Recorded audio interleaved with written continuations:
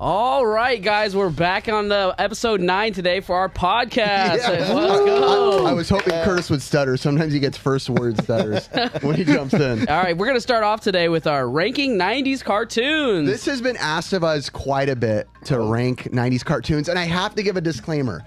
I was looking on like Wikipedia, like let me look at all the night. There's like a million 90s cartoons that are great. We cannot do all of them. It's not possible. I left out like 50 of them that I desperately wanted to do, but we just can't do them all. So welcome, boys. Ricky, you uh, are going to start us off. Pick a number between one and ten. Seven. One, two, three, four, five, six, seven. We are starting off with the Animaniacs. Ricky, you chose it, so you get to go first.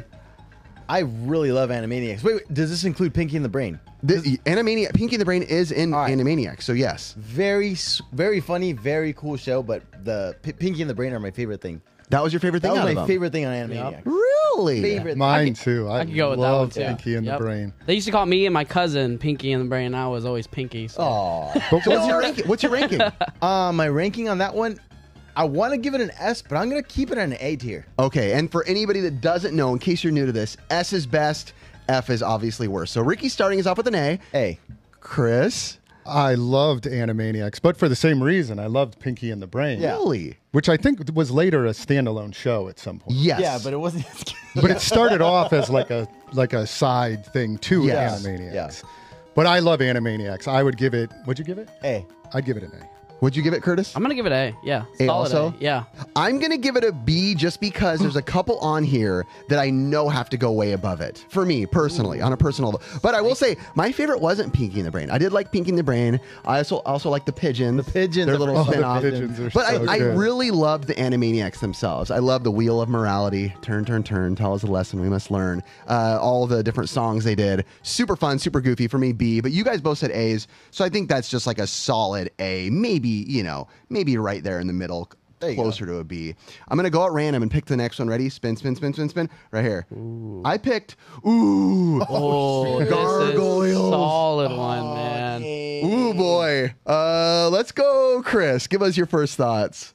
It's a great show. I, as a kid, I did not watch it that Oh, much. I'll be okay. honest with you. I really did not. Of all the other '90s that were out there, but I do remember it. It is good. I love the artwork. It's like the animated Batman series. Yes, dark. dark, Very so, dark. so good. But again, I didn't watch it all that much, Okay. so for that reason, I'd probably give it a B. Okay, a B. Nice. Ricky. Oh. I, I'm actually gonna give it an A because I loved it. Yeah. I really loved like Goliath and all the guys. Dude, great show. Yeah, fantastic Great show. show. Curtis. Man, it's gonna be an S tier for me, man. You're S tier. I Come on, love Dave. that. Hey, Yeah, because I go. I love like it. collecting all those little like it. figures for him too, man. It was like every time I see him out in the swap, I'm stoked. I'm like, Yeah. gargoyles, let's go. I was collecting gargoyles for a little while too, as Word. far as toys. Uh, Genesis game, I think, was one of the first things I got gargoyles related. Besides the actual, you know, getting back into the show, there's also like a big box VHS for it that's really nice. Oh, yeah, that is I cool. found that multiple times at the swap meet, and it's like a nice big box, really clean, really cool looking. Um, for me, I've always loved like the darker style stuff. I showed it to my son too a few years ago, and he was super hyped on it. And that was like when he was like in that early phase of like, Dad, your nerdy, nostalgic 90s stuff is lame. So when he liked this, I was like, okay, that shows me he thinks it's cool. Uh, for me, I'm going solid, solid A. So that was A A A, S B A. So it's a solid A. Hey. now, we're- yes, That girl, did that girl, did you think that girl looked like Carmen Sandiego? yes, absolutely. I always thought that during the show. Sorry. 100%. There's probably some No. universe thing. Guys, question though: Does Gargoyles go above Animaniacs or not? Slightly. I'm gonna put an S in Yeah. there. Oh, There you was know an what? S. Okay. It, will be at a tie. You know why? Because of the S and the. I feel like it would. They would both think both they're- Okay, average I'm, out to I'm S. locking them in solid right next to each other. Uh, Which I'm Chris, cool with. Why don't you pick the next one? If you can see, Beto, give us a full screen on that. There we go. Chris, was Chris? You pick the next one. Uh, X Men. Oh. X Men. Okay, and you get a start. I mean, I picked it for a reason. Oh my gosh, this is one of my possibly my favorite cartoon of all all time. So it's a solid S for me. Okay. I mean that noise that you just said, the opening intro to it was so unbelievable. You know what's funny? I love the opening intro, but I don't like the riff. Funny enough, the riff part that comes during that intro. I love that. I don't like that part. The build up. Picture that. I just remember the they're all flying. Oh my gosh, it was so good. And Wolverine in this was unbelievable. I loved his yellow suit He's so character. like, just it was so so so good. It's I- so true to the comics. I sent a I clip it. not too long ago, I think to all of us, Yeah. that I forgot about, you know, me being a Christian guy, where Nightcrawler s- helped save Wolverine. I saw Yeah. that episode recently. And I was like, Yeah. whoa, I don't remember this. Nightcrawler was like talking to him and kind of like, you know, he gave him a Bible. That's what it was. Yeah. Yeah. He gave him a Bible, just kind of, you know, told Wolverine who's going through some stuff. And the episode ends with, I think, either Rogue or Jubilee. I think Rogue seeing, like, walking in to like a church after she was hanging out with Cyclops. And Wolverine's down there, like, accepting the Lord. I'm like, I don't remember this, but it recently came in my feed. I, you, you shared that. That's right. And it shows him like kneeling, like accepting the Lord in the church. It's pretty awesome. I was scene. like, well, it was cool, especially for someone you know like me who's Yeah. into that. I was like, that's cool. Um, I'll jump in since I was there. Uh, 100% A for me as well. 100% defining cool 90s. Right? There's like fun 90s. There's like Animaniacs. ni- There's Nickelodeon 90s. But when I think of like cool, like when you were a kid and you were watching X Men, you were a cool kid. A for me. You said S. S. Okay, go. I'm a solid A. I loved it. I love Scott Summers. I loved Beast. I loved um, Storm. I loved all of them. Like even Yeah. Gr- uh, what's it called Gray. Phoenix. I can't think of her name right now. Uh, Jean Jean, Grey. Grey. Jean Grey. Yeah, Jean Grey. yeah. Those characters are crazy to me. Yeah. And They're and. Professor X is like one of the most notable people. Like even his little spin-off movies have been really great. I, I remember he. I thought he was like the coolest person that I knew with a shaved head. That was, oh, that was when I was a kid. Like that's the coolest person I've seen. With I a thought it was. Mr. Clean for sure. Definitely not. Ricky, what do you got? Straight up S tier, dude. That's Gambit in there. Oh, Gambit. Ricky, I Yeah. thought, why did I Gambit. about Gambit. Gambit? Like, Oh, with That's the everybody's sou- favorite, And he had the too. southern accent, like the oh, Louisiana accent in I wish I was Gambit. Gambit is one of the I love- coolest. one of the coolest. One of my favorites ever, Coolest. by far. Like, dude, that show was so good. I, that's like the one show I would look forward to every day. Me I like, too. oh, I can't wait. so am I the Me only one that didn't say S? You said S. I said A. okay, so SS. we're, SS, we're AA. it's the highest so far. It's Highest it's, so Yeah, far. for sure, for sure. It's Nothing's gonna beat it. SA. Okay. you know, kind of like on par with this. I think we should go into the ding ding no, ding. no, no. Wait, I have a better idea, Curtis. Watch What? this. We got to rate this '90s commercial. Just kidding. Speaking of commercial, the, we're, a quick break for Quick a, 90, break for a second. 90 second sponsor. We're trying to be funny with it, but this couldn't be a better. Don't skip this for the first time in my life. Do not skip this. Chris, why don't you explain who we're working with now as one of our sponsors? This is like crazy to me that this is even happening. So one of our main sponsors is PriceCharting.com. Uh, you guys probably all are familiar with price charting, video game price charts. They now go by PriceCharting.com. Um, so they're sponsoring the next three episodes that we do. So we're probably going to have Full term. Full term, yeah. So we're going to have quite a bit of sponsors with sponsorships with them and doing some trade off sponsor stuff as well. So it to me is the most fantastic term like we've i've only had one other sponsor and i don't need to say name names where i was like this couldn't have been more perfect for our show for what we do what do we do on our show if you don't know besides this channel we're out there game hunting every weekend of our lives using price charting every minute every day all the time sending screenshots. Look at this look at this this is the value of this. When we sell and whatnot this is what this stuff goes for on video game price charting or on price charting. So this when when you kind of worked this because chris is kind of the one who worked this magic into happening of this. We were super super excited and i couldn't be more thrilled that like this is our this is a sponsor. Like we're working with price charting. We're going to be on their website. They're working with us. Prior to price charting existing, when I used to go game hunting, this is probably like 12 years ago, I used to literally go to the flea markets with like printed out uh, sold listings from eBay. This was prior to them existing. They kind of Wow. changed the game. Yeah. Wow. And because nobody, you didn't know value. So you had to go off of all eBay. Obviously, what price charting does is they take all that eBay information and they consolidate it so that you can see the values and stuff. Um, we've all been using them for uh, video games for years. Um, but the first thing we wanted to talk about was really that they they recently, in the past, uh, I want to say year, spread out their categories. You now on there can find comics. Um, they have all the sold listings for comics, Cards. trading cards, which includes like Yu-Gi-Oh, Yu-Gi-Oh, Pokemon, Pokemon, uh, Magic. Magic. Seen They even have Garbage Pail Kids, which you know I love Garbage Yeah. Pail Kids, so that's on there. Um, they have uh, Big big sports cards. sports cards on there. And they just added, I think, U.S. coins. They have coins on Yeah. there. Yep. So all that information is on there. So you, if you're looking for X Men One from 1990s, if you want to go on there, type in X Men One now. You can sort and see all the values. of which which I think is really cool for it to be in one place because like us, we're always looking at the swap meet, trying to expand our different things of what we look at. So for it all to be there is beneficial for us, someone who's like doesn't want to have to go to 40 different websites to try to find something out. So for us who are constantly scanning, looking at things, trying to find things. Yeah, and I use it all the time when we're at Golden West. And it's so funny because like when you talk like this in sponsors, people are like, "You're saying those lines you're supposed to say." This is like literally what we do. Like, it's like It's like- I use it all the time. Wink. It's like no, we no, we do use actually do use it all the time. Yeah, so- I definitely like looking at like how the um the markets how it shows the market data Oh, and yeah. all that stuff. Over Yeah, they now have graded stuff on there. They have new, complete in box, market stuff. So yeah, check them out. Pricecharting.com. And stay tuned. We got more coming for you guys after the next couple segments. But to, to move on to the next, they might have Turtles cards in there. I'm not sure. Teenage Mutant Ninja Turtles. I would say this might be possibly the most popular of all of these, possibly of these 90s cartoons.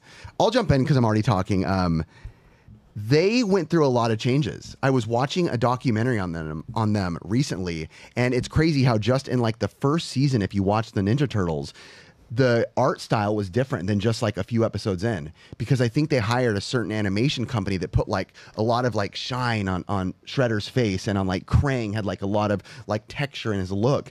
And as they went on, they got so popular so quick. They were using different voice actors every episode different voice Wow. actors, different art, artists to draw these things. There's so there were so many different iterations of what it looked like, which to me is a testament to the stories because and the likability of the characters. Because for it to be that popular, with that much behind the scenes crap, so to say, going on, that's huge. That means people really attach themselves to the Turtles or to Splinter or to Casey Jones or to April or whoever it was, Bebop and Rocksteady. So, with that out of the way, Mm, S. It's S for me. Ninja Turtles is S for me. I have to. Yeah, I feel like we're just choosing like the really good ones because this is a solid one. I always loved seeing the pizza time shirts and all that type of stuff. It's like Branding with it was perfect. top Top. notch. Yeah. Top notch. What do you rate it? I'm eh, S. S. S. Gotta Okay, be double S.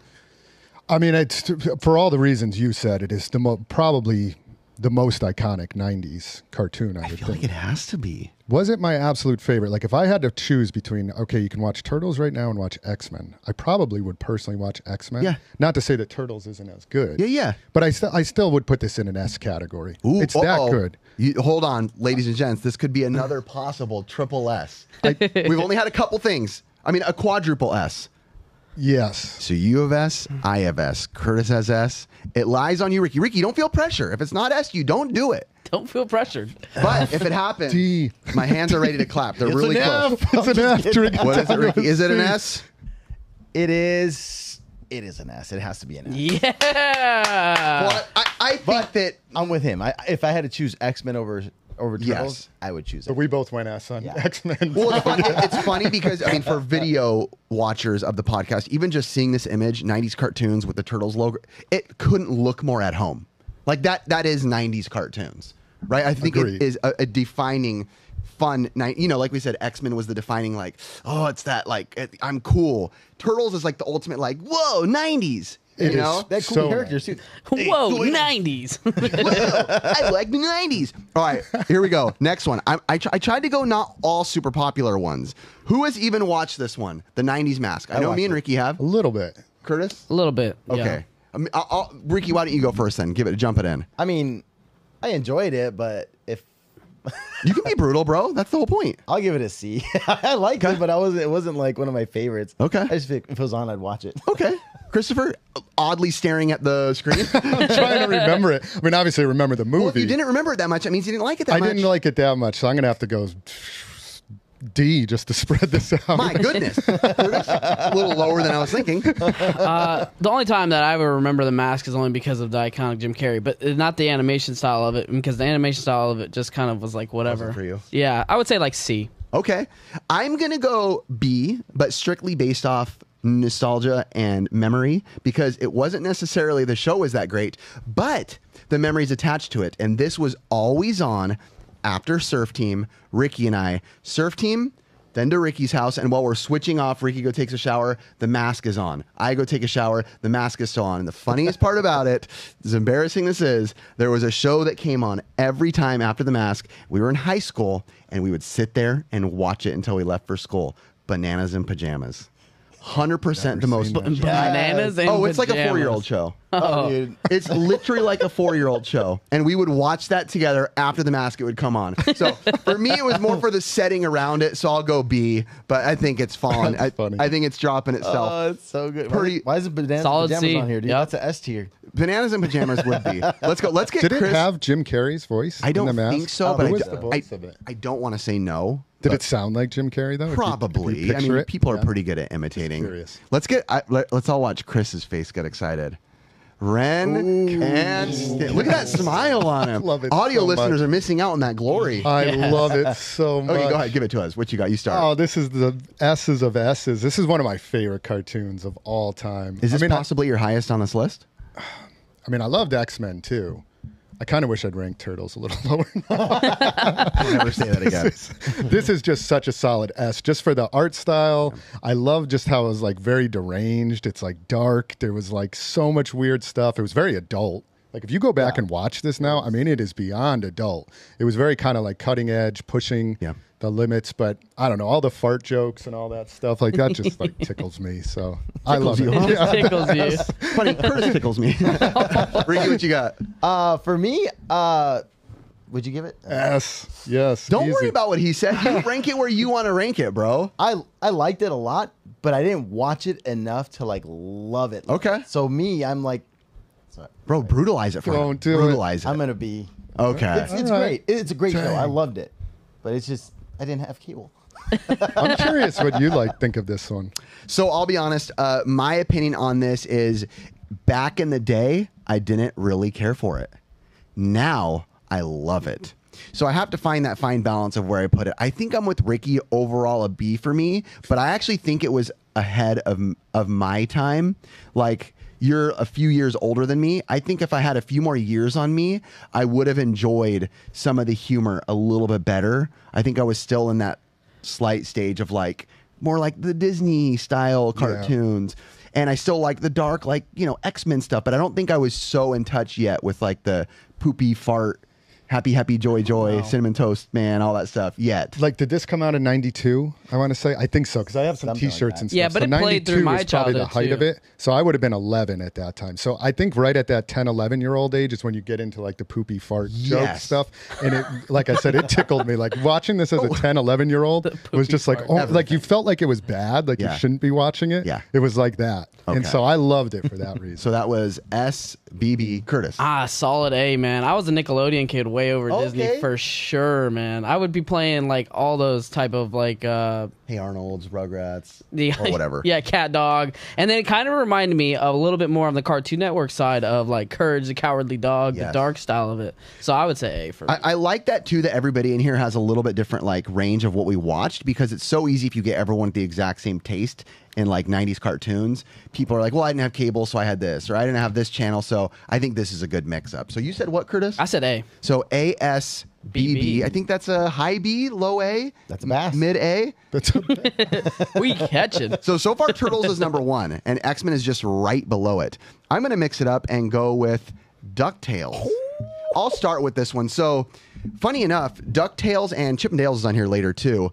I thought these were both like middle 90s like shows. But then i looked them up. They came out in the 80s and like barely made it to 1990 so it still counts as you know 90s it was in the 90s um i'll say as far as like the disney style the disney afternoon type shows you know there's tailspin there's a bunch more. Um most people would put this as as the top of the tip top. This came out before chippendale rescue rangers um I loved it. It was one of those shows where I was at that stage as a kid to where my excitement levels were up when a show would come on. So this would come on and I'd immediately, you know, put on the sunglasses and sing the song and act stupid and jump on the bed. Absolute absolute S for me. I have to. This is this is so much defining memories watching this show. Curtis? Dude, you, that, uh, I'm gonna I'm gonna crush your dreams. That's okay. here. I don't care. Do it, Curtis. I'm gonna be honest. When this thing would come on, I would I would just change the channel. Uh, you were what? How old? I mean, I just I wouldn't connect with it very often. Like I would rather just watch like Mickey Mouse and He all was that waiting for stuff. Blue's Clues to come on. Yeah, just, heck yeah, dude. Hey, that's a good show. Blues Clues is a good show. I, Hey, I knew that one. immediately when you played That that, was a song. good show. That was a really good But show. I'm gonna rank this as a uh, D for Disney. Wow. Now that D. You just, put just replace the D in Ducktales with an F. Oh, dang, Curtis. All I like Ricky, it. what you got? Oh, bro, this is S tier all the way. This show even aged beautifully to me It because my kids love it. I, I prefer this over the new one any day. Like, but it's so good. And the new one's not bad. The new one's not bad, but this is just so good. Everything, the storyline, every show was like great for me to, on this. Was oh, I, so I just watched good. Super Do the other day. And let's be real, Uncle Scrooge is living all four of Oh, our dude, lives. Let's be he real. is. He's climbing for money. Say what you want about him. So, Oh, I Chris, loved it. Um, I did like this one a lot. and whenever you did start like it a that, I lot. know you're dropping a bomb. Don't I'm get me not wrong. as far down as I Curtis. liked it. I did like it. Is it S for me? I don't know. It never Okay. really did it as much. I watched again a ton, a ton, a ton. but be I would give pressured. it.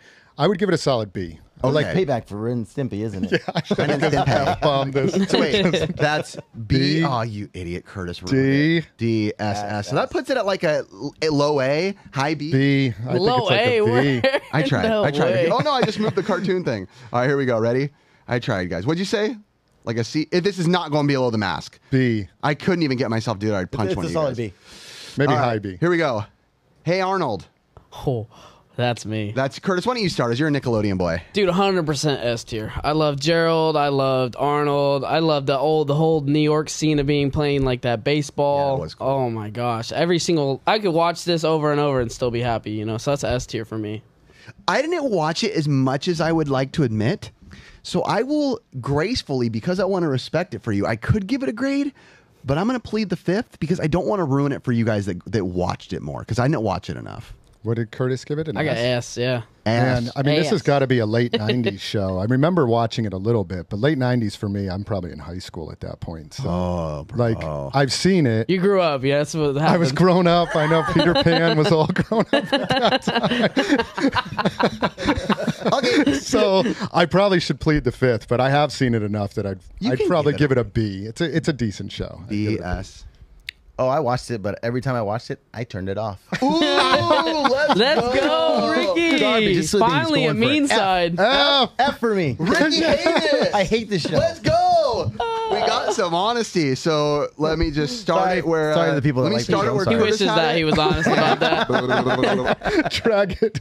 I think it's like right there above the mask. We're gonna have to speed round these next couple. Okay, speed round. We'll go fast. Ready for this? Bobby's World. Absolute 100% S. One of my favorite shows of all time. Howie Mandel. Beautiful acting. Howie. Beautiful So accents. Wonderful. If you were a kid who had any sort of imagination, this was the show. S tier. I loved it. Loved Howie Mandel and the way I just loved the way Yeah. they did. What did they do? Go back and forth between him and real life, Yeah, and then the he show. started Oh, out. Yeah. it was so good. Um, hey, A. Okay. I don't have any say in this one. Okay. Solid A. Ooh, okay. AAS. That's a good ranking, my friend. yeah, that was a good show. That's a solid. I kind of forgot about. It. We'll go that. fast for you, Curtis. Ready? Please do. Beavis and Butthead. Ricky. Ooh, that's a solid A for me. Yeah, Beavis and Butt. It's, I'm with you. This is S category for me. I I knew you'd love say S. Beavis and I knew Butthead. Oh go my gosh, I love this so much. In the same line as Ren and Stimpy, just like so cutting edge and kind of like dirty. TV for my bunghole. Yeah, so good, so good. What S. I find interesting is due to Ren and Stimpy, I feel like I wasn't there with a lot of that adult humor, but with this, I was. And I think it's because I watched it at a certain time in my life at, in Yuma, Arizona, with my sister, with her boy husband at the time, and uh, it connected with me. A, A. Nice. I'm A, Oh, I solid like A. that. Okay, so that's a high. That's a good A. it's a What'd you really give good it? A. A. I would Hey, literally that's- just laugh because he's like. That's like a high A.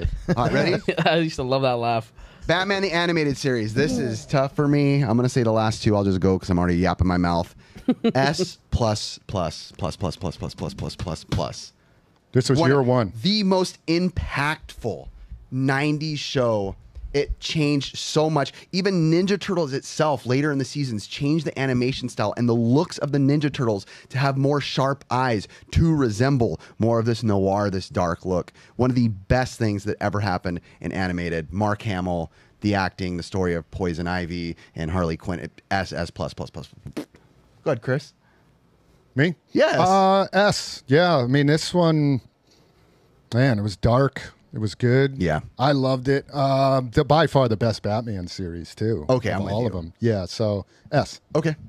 S best Batman series. tr- Truthfully, Batman I'm not gonna put it up there with Teenage Mutant Ninja Turtles, so I'm gonna say A. Wow. Dang, Curtis, He did it just to spite. Again. Wow. Is this, It's is this an because of the app?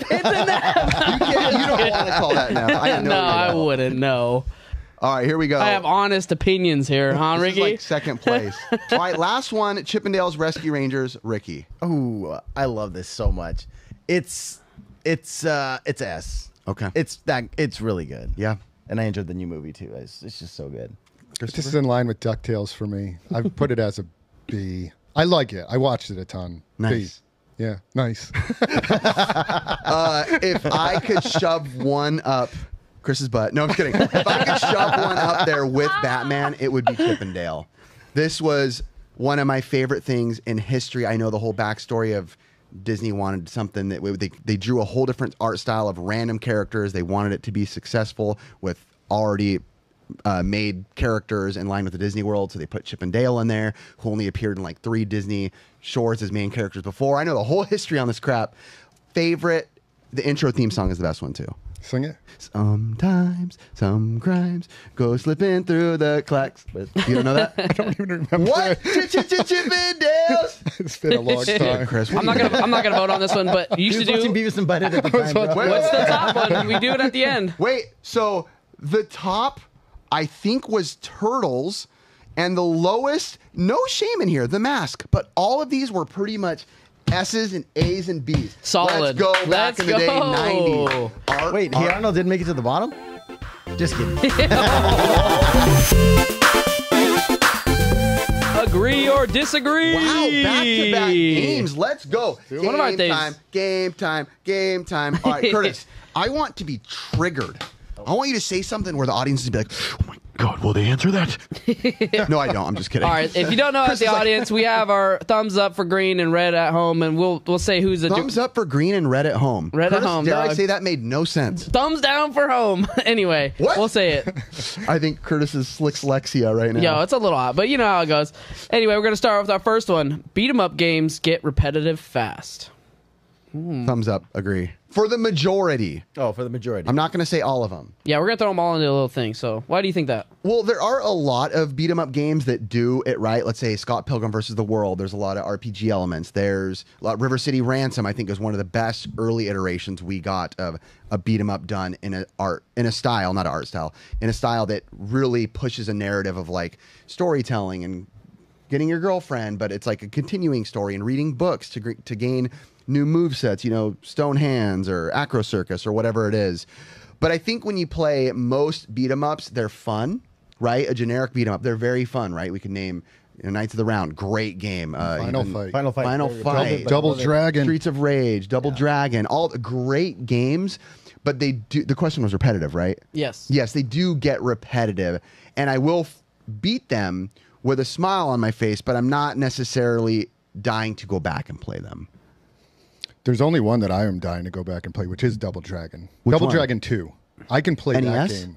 Uh, yeah, NES. Oh, I can play that one over and over and over again. That is one of my favorite games. Double But like- Dragon, these nuts. I was waiting. Okay, go ahead. But like as far as the Hilarious. repetitiveness, other than that game, like Final Fight and and any of the oth- any of them, yeah, they it's just the same style game with different characters. I feel like Ricky? So it is repetitive. I, agreed with I, I was gonna say Final Fight, but I like I love those games, but they are repetitive, and my finger hurts at the end because you're literally pushing the same two buttons over and over.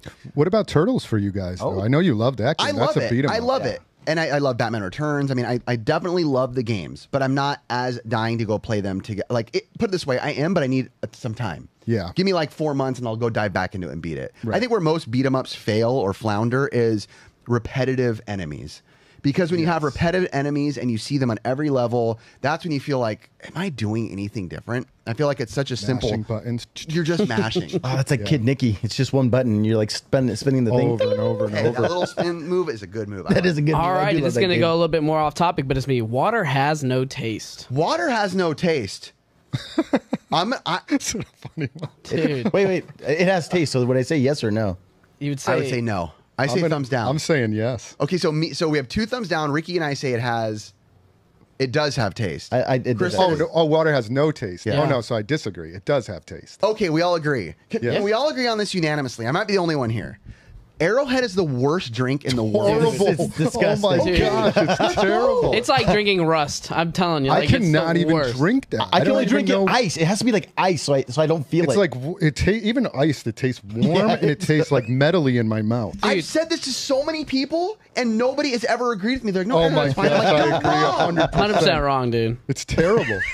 now Fiji, Fuji, Fiji, Fiji. Shoot, I don't know now. Beto? Beto? like there's there's really good good water. And LA water, ooh, Oh yeah. out of the faucet, it's Oh, terrible. yeah. Uh, I'll, don't do I'll, that I'll here, I've uh, seen what goes into those water uh, reservoirs. yeah. Don't, don't, don't, don't. You know it, what's man. crazy? I would rather drink tap water than drink Arrowhead water. From That's LA. how bad it is. Well, uh, one time I have a funny, quick story. I was out doing meter reading. I used to be a meter reader for uh, my job that I was at, and we, you know, you go park your car and you'd go walk around for eight hours. You go into people's house, you go check their electric meter and leave, and you'd park your car, go do 400 houses. At the end of the day, you come back. It was one of those brutal, like 100 degree days where I'm just like dying. Don't have any more water. It's like 100 degrees. I'm like. Forget it, dude. Like nobody's home at this house. I don't see any cars. I'm just gonna turn on the hose in the front yard and just start chugging and I start chugging this water. I get super deep into like probably a gallon into my system, and I'm like, whoa, and I take a breather, and I'm like, dude, that tasted weird. Like that tasted not good. and I'm like, I've had some bad tap water, but something's wrong with this. And I, I look at the hose and where I'm chugging chugging from, and I look down like two feet, and it's connected to a Miracle-Gro like powder. Yo, no way he's drinking just basically like carcinogens. dude, straight up, dude. Just sucking it down. sucking it down. I'm like, I called my boss immediately. I'm like, uh, dude, what do I do? He's like, come into the Call office. poison control. Let me keep, no, they didn't call anybody. They were like, let's try to keep this under the system and see what happens. I just started chugging a ton of water and eating when I got there. Did you feel sick? I didn't feel sick, but there were certain parts of my body that were like this big. That's crazy. All right, we're gonna go on to one that might be a little bit more triggering, but it's gonna be a good one. Collecting five screw or three screw proves that collectors will buy anything. Will buy anything just because. Ooh, ooh. Okay, so if you don't know and you're listening out there, five screw and three screw is basically quite literally buying the same NES game, but one has five screws and one has three screws, and value goes up a lot of times if there's five screw. That you're saying it proves that we'll that collectors will buy anything. Yes.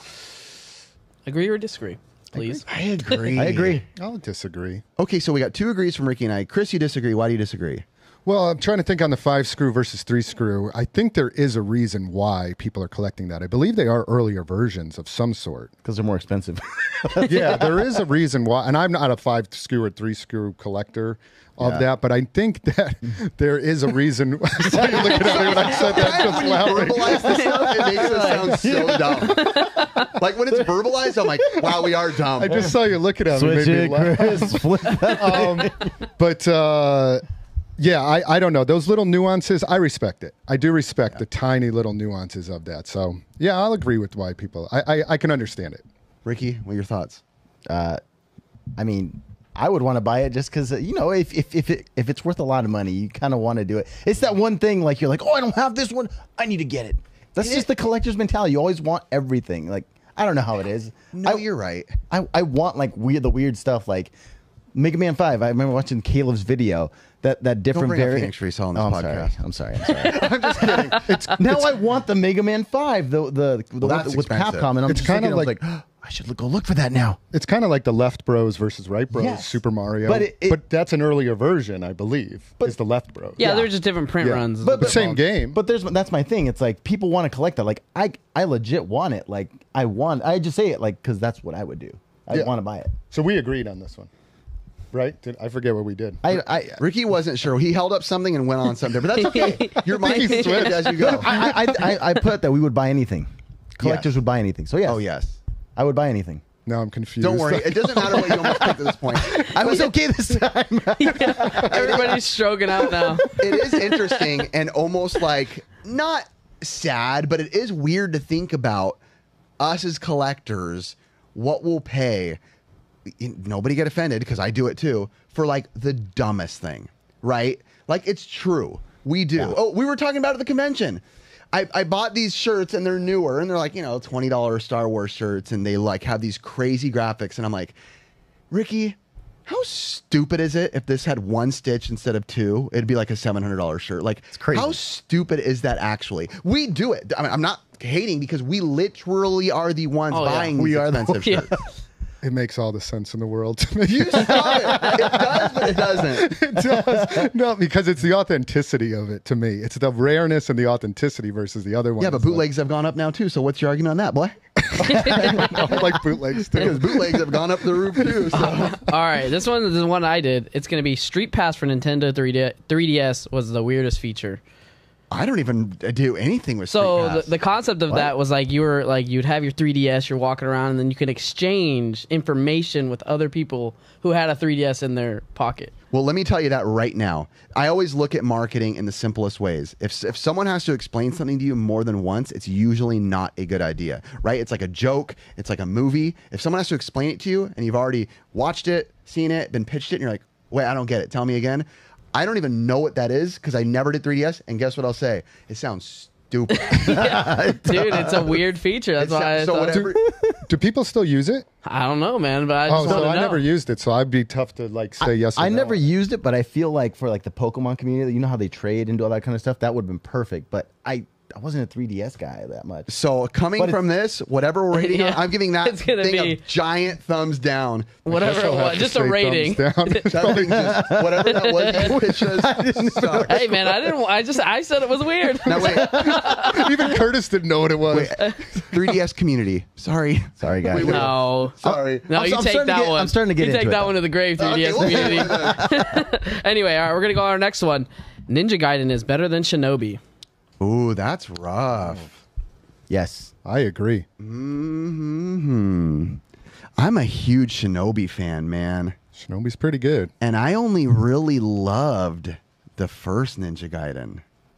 Like really loved. I'm still going to agree with you guys though. I think it is better overall. Shinobi on in the, you know, earlier days, you know, let's say Sega Master System days. Ooh, but then again, Shinobi on the Genesis. Holy moly mazuli. The arcade version, in my They, opinion, was so the they play completely different for anyone Yeah. that hasn't played them. Ninja Gaiden is much more fluid and dare I say it plays a lot more ninja like, right? There's a lot more like swoopiness and archy feelings and feels more f- fluid as a ninja would move. Yeah. Shinobi generally is a more stiff walking, kind of like straightforward, almost like Codename Viper. that jump where you would like go up and your legs kick over. Ninja Gaiden. No, that was in Shinobi. Oh, The, yeah. like, that Oh, yeah. flip. Oh, that Oh, my flip. god, So Shinobi was like flip a tuck. about that? I mean, I mean, uh. Ninja Gaiden was like a tuck. yeah, it was a tuck flip. flip. Shinobi was like, woo, with the legs, like the legs and the like dynamics of that were incredible. Oh, it had this like looping, floating feeling to it. both great game series overall, but I think I'll agree that Ninja Gaiden is better on the overall, even though I'm very flat with that reasoning. What about for you, Ricky? What's your thought? Uh, I don't know. I, I, just- I just like Ninja Gaiden a lot better. But if I if I literally had to talk about it, I'd just go Strider, bro. I'm sorry. Wow, that's not the question. Either politician. I disagree and was disagree. Ricky It's just went full changed. politician on us. what is full your thoughts on the border crisis? I don't know, but I love tacos. like, like, like, what does that have to do with anything? it's like the first thing I thought of when he was like, I really want to play Yeah, I Strider was now. like mid drink and I was just choked when you said that. Ricky just straight up, he's like, he's all, I don't really understand, but I love Strider. like, I love that, Ricky. Chris, what you- that's what you're trying to get over that. Pretty good. Um, on the oh. consoles, I liked Ninja Gaiden a lot better, but in the arcade, Stri- Stri- or not, no, I'm Strider. Strider, let's be real. Shinobi on the arcade was incredible. That game was so so good. But well, I just played so much Ninja Gaiden, so I like it better. Well, let's just put Ricky into it really quick. Is Strider the best out of all those? I'm going to say yes. That Strider would be yeah, above Strider's the best from those three. Strider is pretty good, but I still like Ninja Gaiden. Okay, okay. Yeah. All right, we're gonna go on to our next one. It's gonna be Xbox 360 controller was the best controller in the early 2000s. Oh, 100%.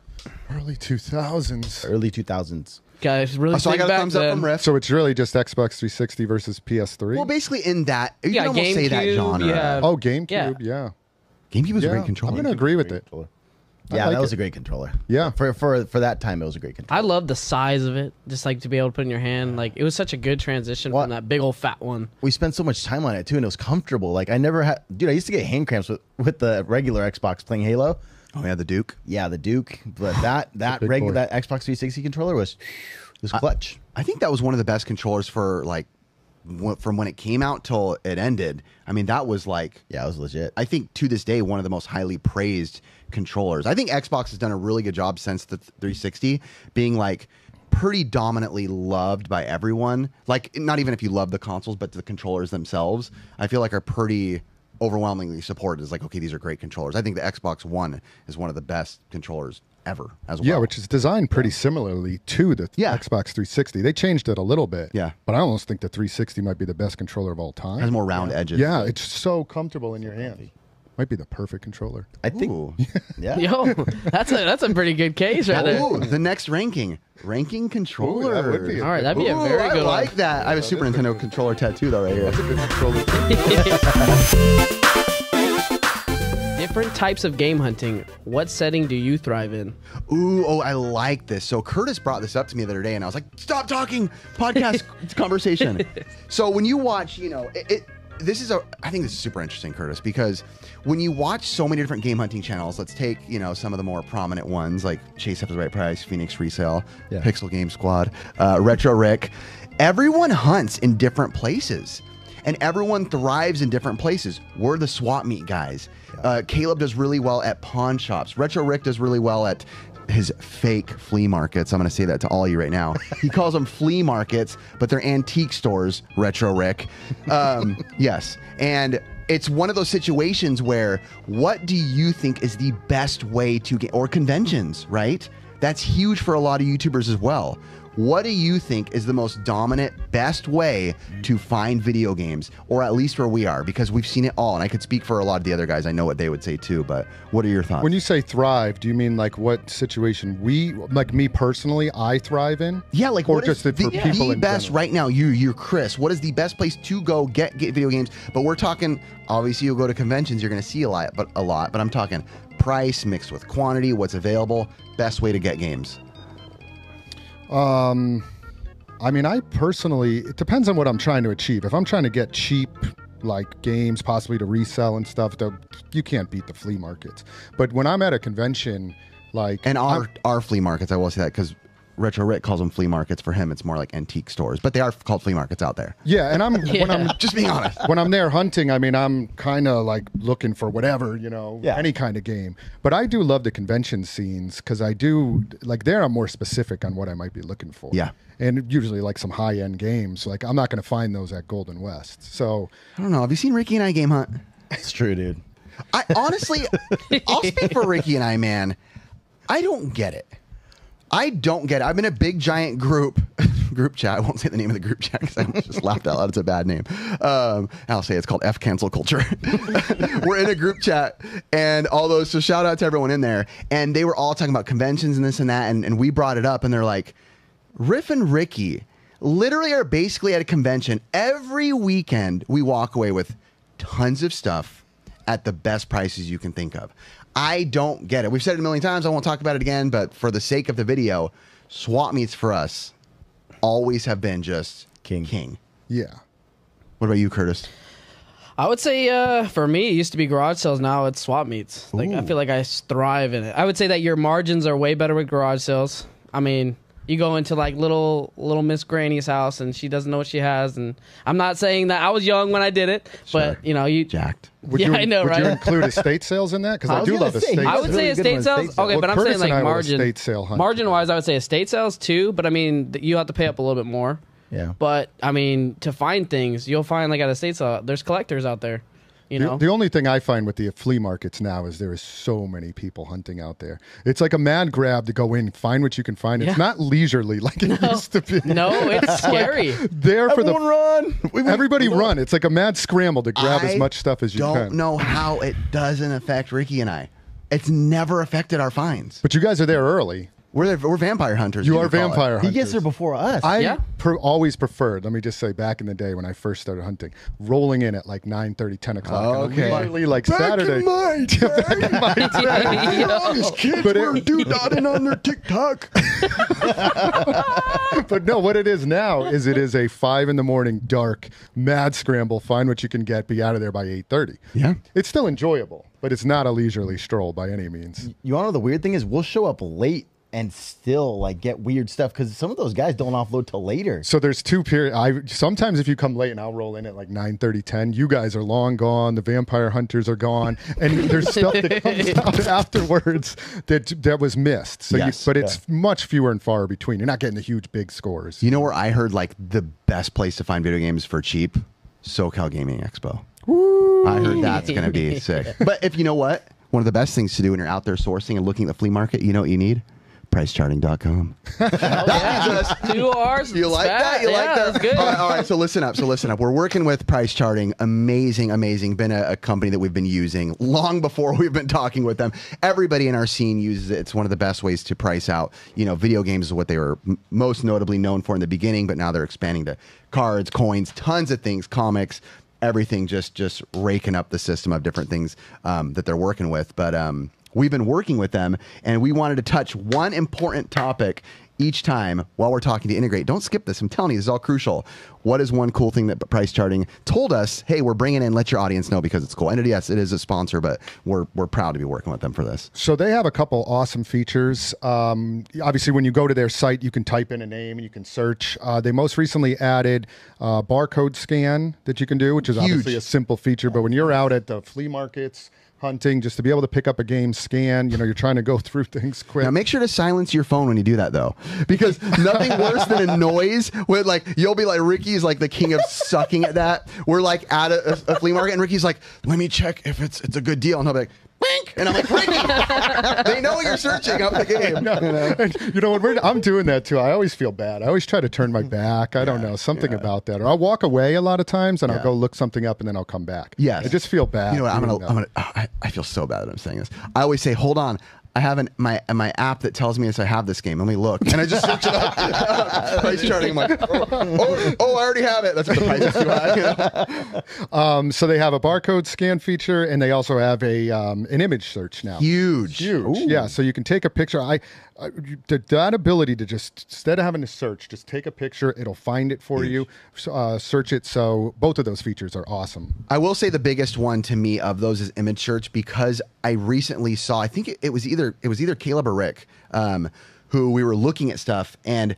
I didn't know at the time that price charting was doing that. And someone next to me was like, "Hey, you can scan, you can image search on price charting now." And it was either Caleb or Rick who was like super jazzed. I'm like, "Dude, that's fantastic!" Because again, there's other, of course, options available to do that, but it's so easy now that price charting has it because you're doing it in one place, and that makes it easier, right? Ease of use. You don't want to be stumbling like us, like that when we're out there.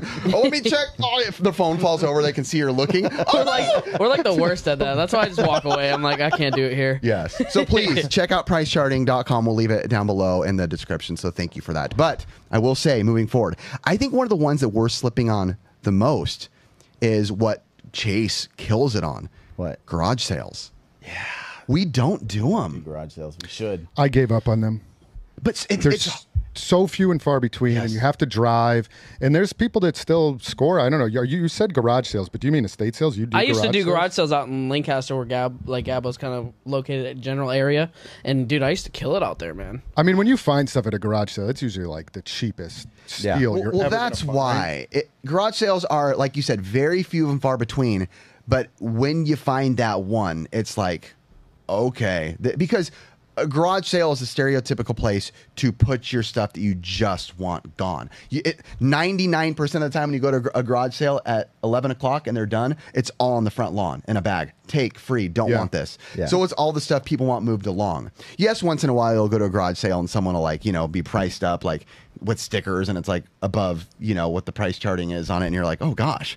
But 9 times out of 10, you got to do that. And then that's where the trickery comes in of to, to how low to let the stuff go for without feeling bad, I think- which we've talked about before. I think this is interesting. We've had friends come along with us to like swap meets and Curse is not friends. All right, we've had your friends out there. That's messed up. we, we've had friends come out with us to our swap meets, and like sometimes it make they makes them feel kind of out of their comfort zone. Why do you think that is? So th- that's huge. This is a very interesting. Curtis, what a great question. I know. man. I, I try. I Curtis. try. All right.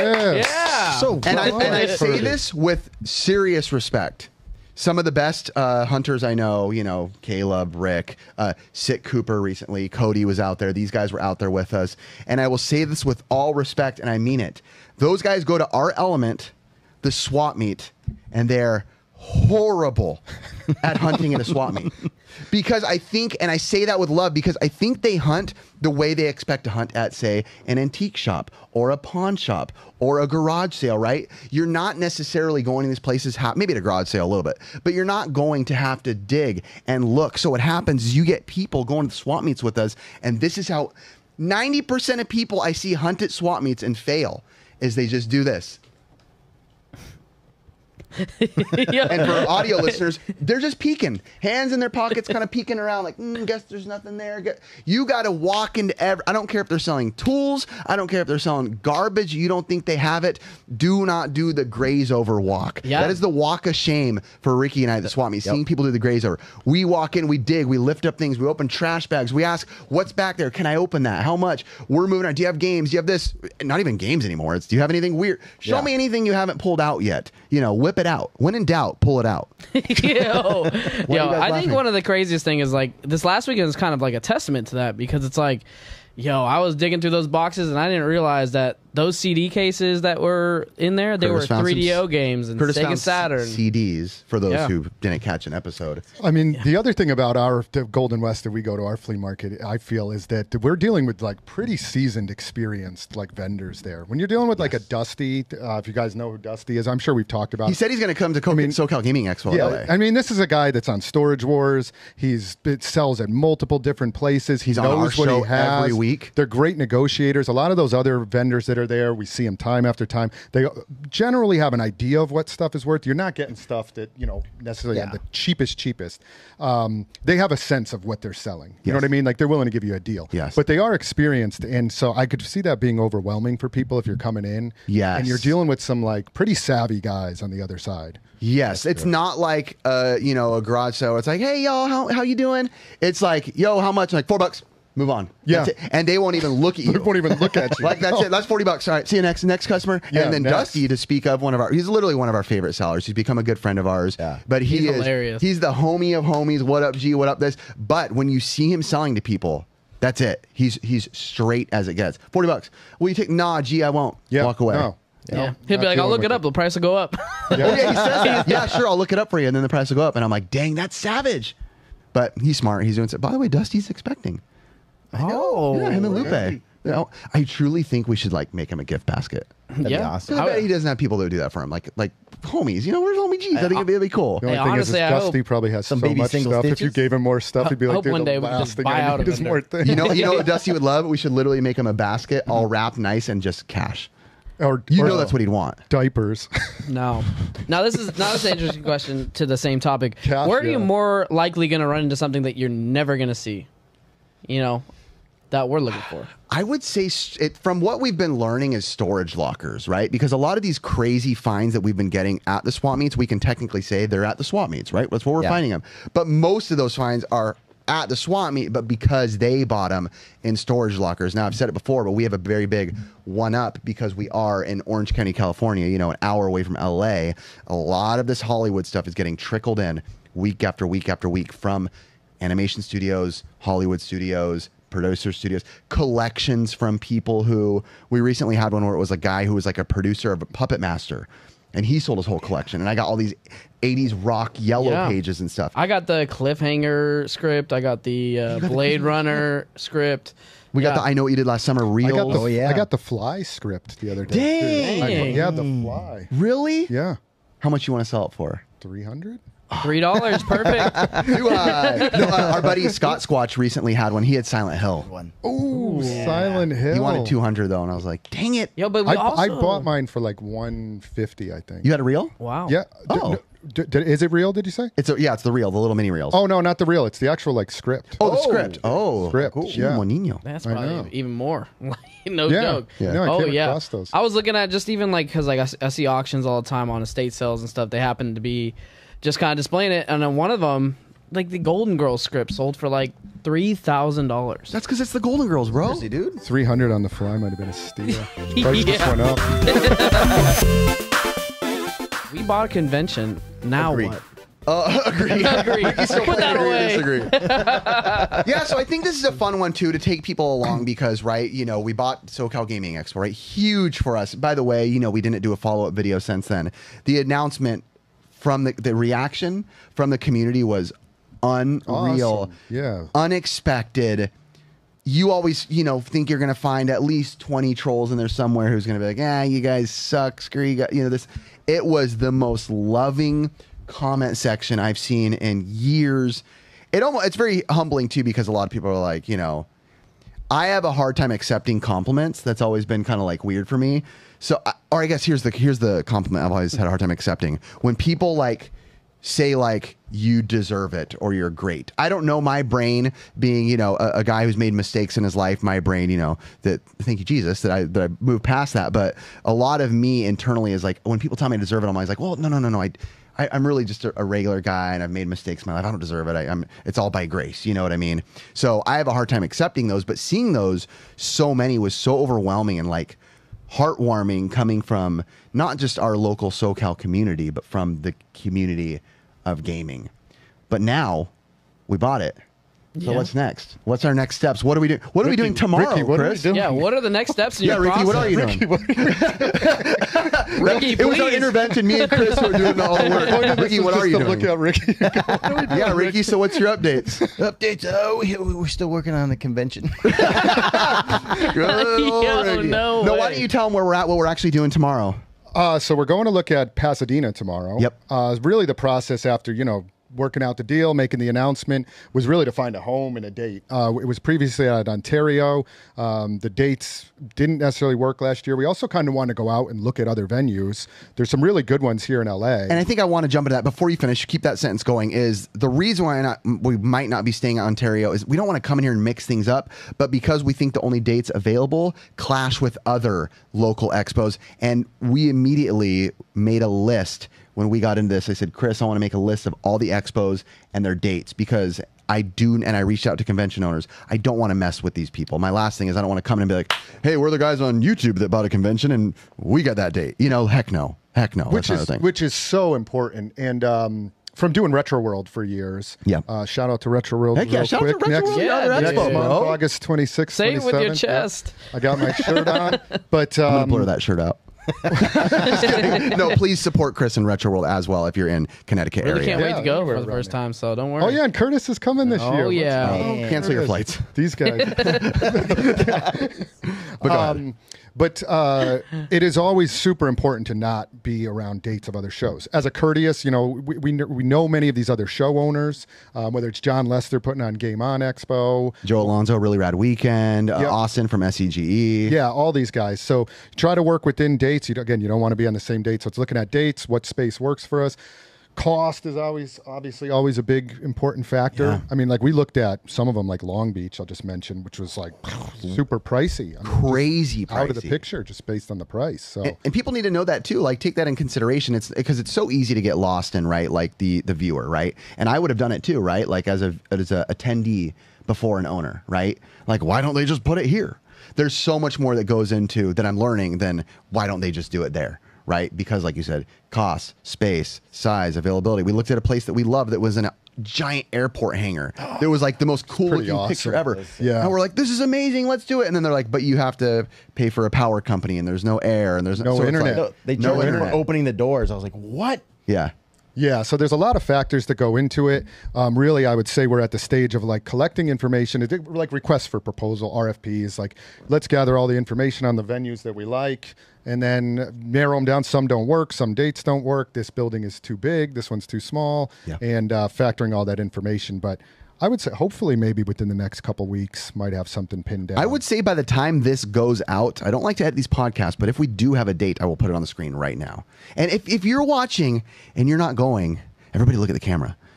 For shame. For shame. you know, I, I really hope that everyone goes and not just, um, you know, local SoCal people only. But we have some cool uh, things that have been happening too. We re- we talked to a couple people uh, who have reached out since then who are, you know, managers of different people out here in LA, uh, even though we're not in LA, we're in OC. But I think one of the best things we have going for us, and this isn't not to flex on any, you know, event or any other convention, being where we are, when I talk to some of these managers, they're like, wait, SoCal? And they're like, um, these people will come because the biggest hurdle always is, you know, flights and hotels and making sure that this and their time. He's like, half of those people you're not paying for travel, and if you do, you're paying for gas, and half of them aren't even going to want a hotel. They can just drive 20 minutes home. when we're looking for guests for Retro World, which is in Connecticut, 50% of the guests that we contact live, Yeah. guess where? Yeah. Here in Yep. SoCal. Yep. Because of Hollywood, because it's voice actors, Yep. you know, all that stuff. Yep. So, yeah, guests should be so much easier. We have a lot of really cool ones, and and and they're. I'm trying to be very specific about who comes that I think is you know important to this scene. You know, uh, one of the ones I think. Uh, I, I can't lock these people in yet, but I can, you know, kind of say who they are. Some of the voice actors from Sonic X, the actual voice of Sonic and Silver, uh, Amy, uh, Chris Redfield, Jill Valentine from Resident Evil. Appa- We might be able to get the whole cast of Resident Evil out there. Yeah. Pokemon, you know, and obviously, what I want to do with it though, and you better not steal this for Retro World, bro. I'll beat you. Any of you other Get out the notes. any of you other convention owners out there? If I see this at your expo, oh, you're dead. uh, I want to do playing that game with the actor. Who wouldn't want to play Sonic with Sonic? Who doesn't want to play a round of, of couple Resident Evil with the cast All of. Resident Evil? So I already stole that idea because we have Terry Torak. I think I mentioned him before. He's the Nintendo World That's Championship. different. He's not a voice actor. announcer. but what we are doing is Is he going to play Turok? No, we're flying. Yo. Terry Turok? you like it?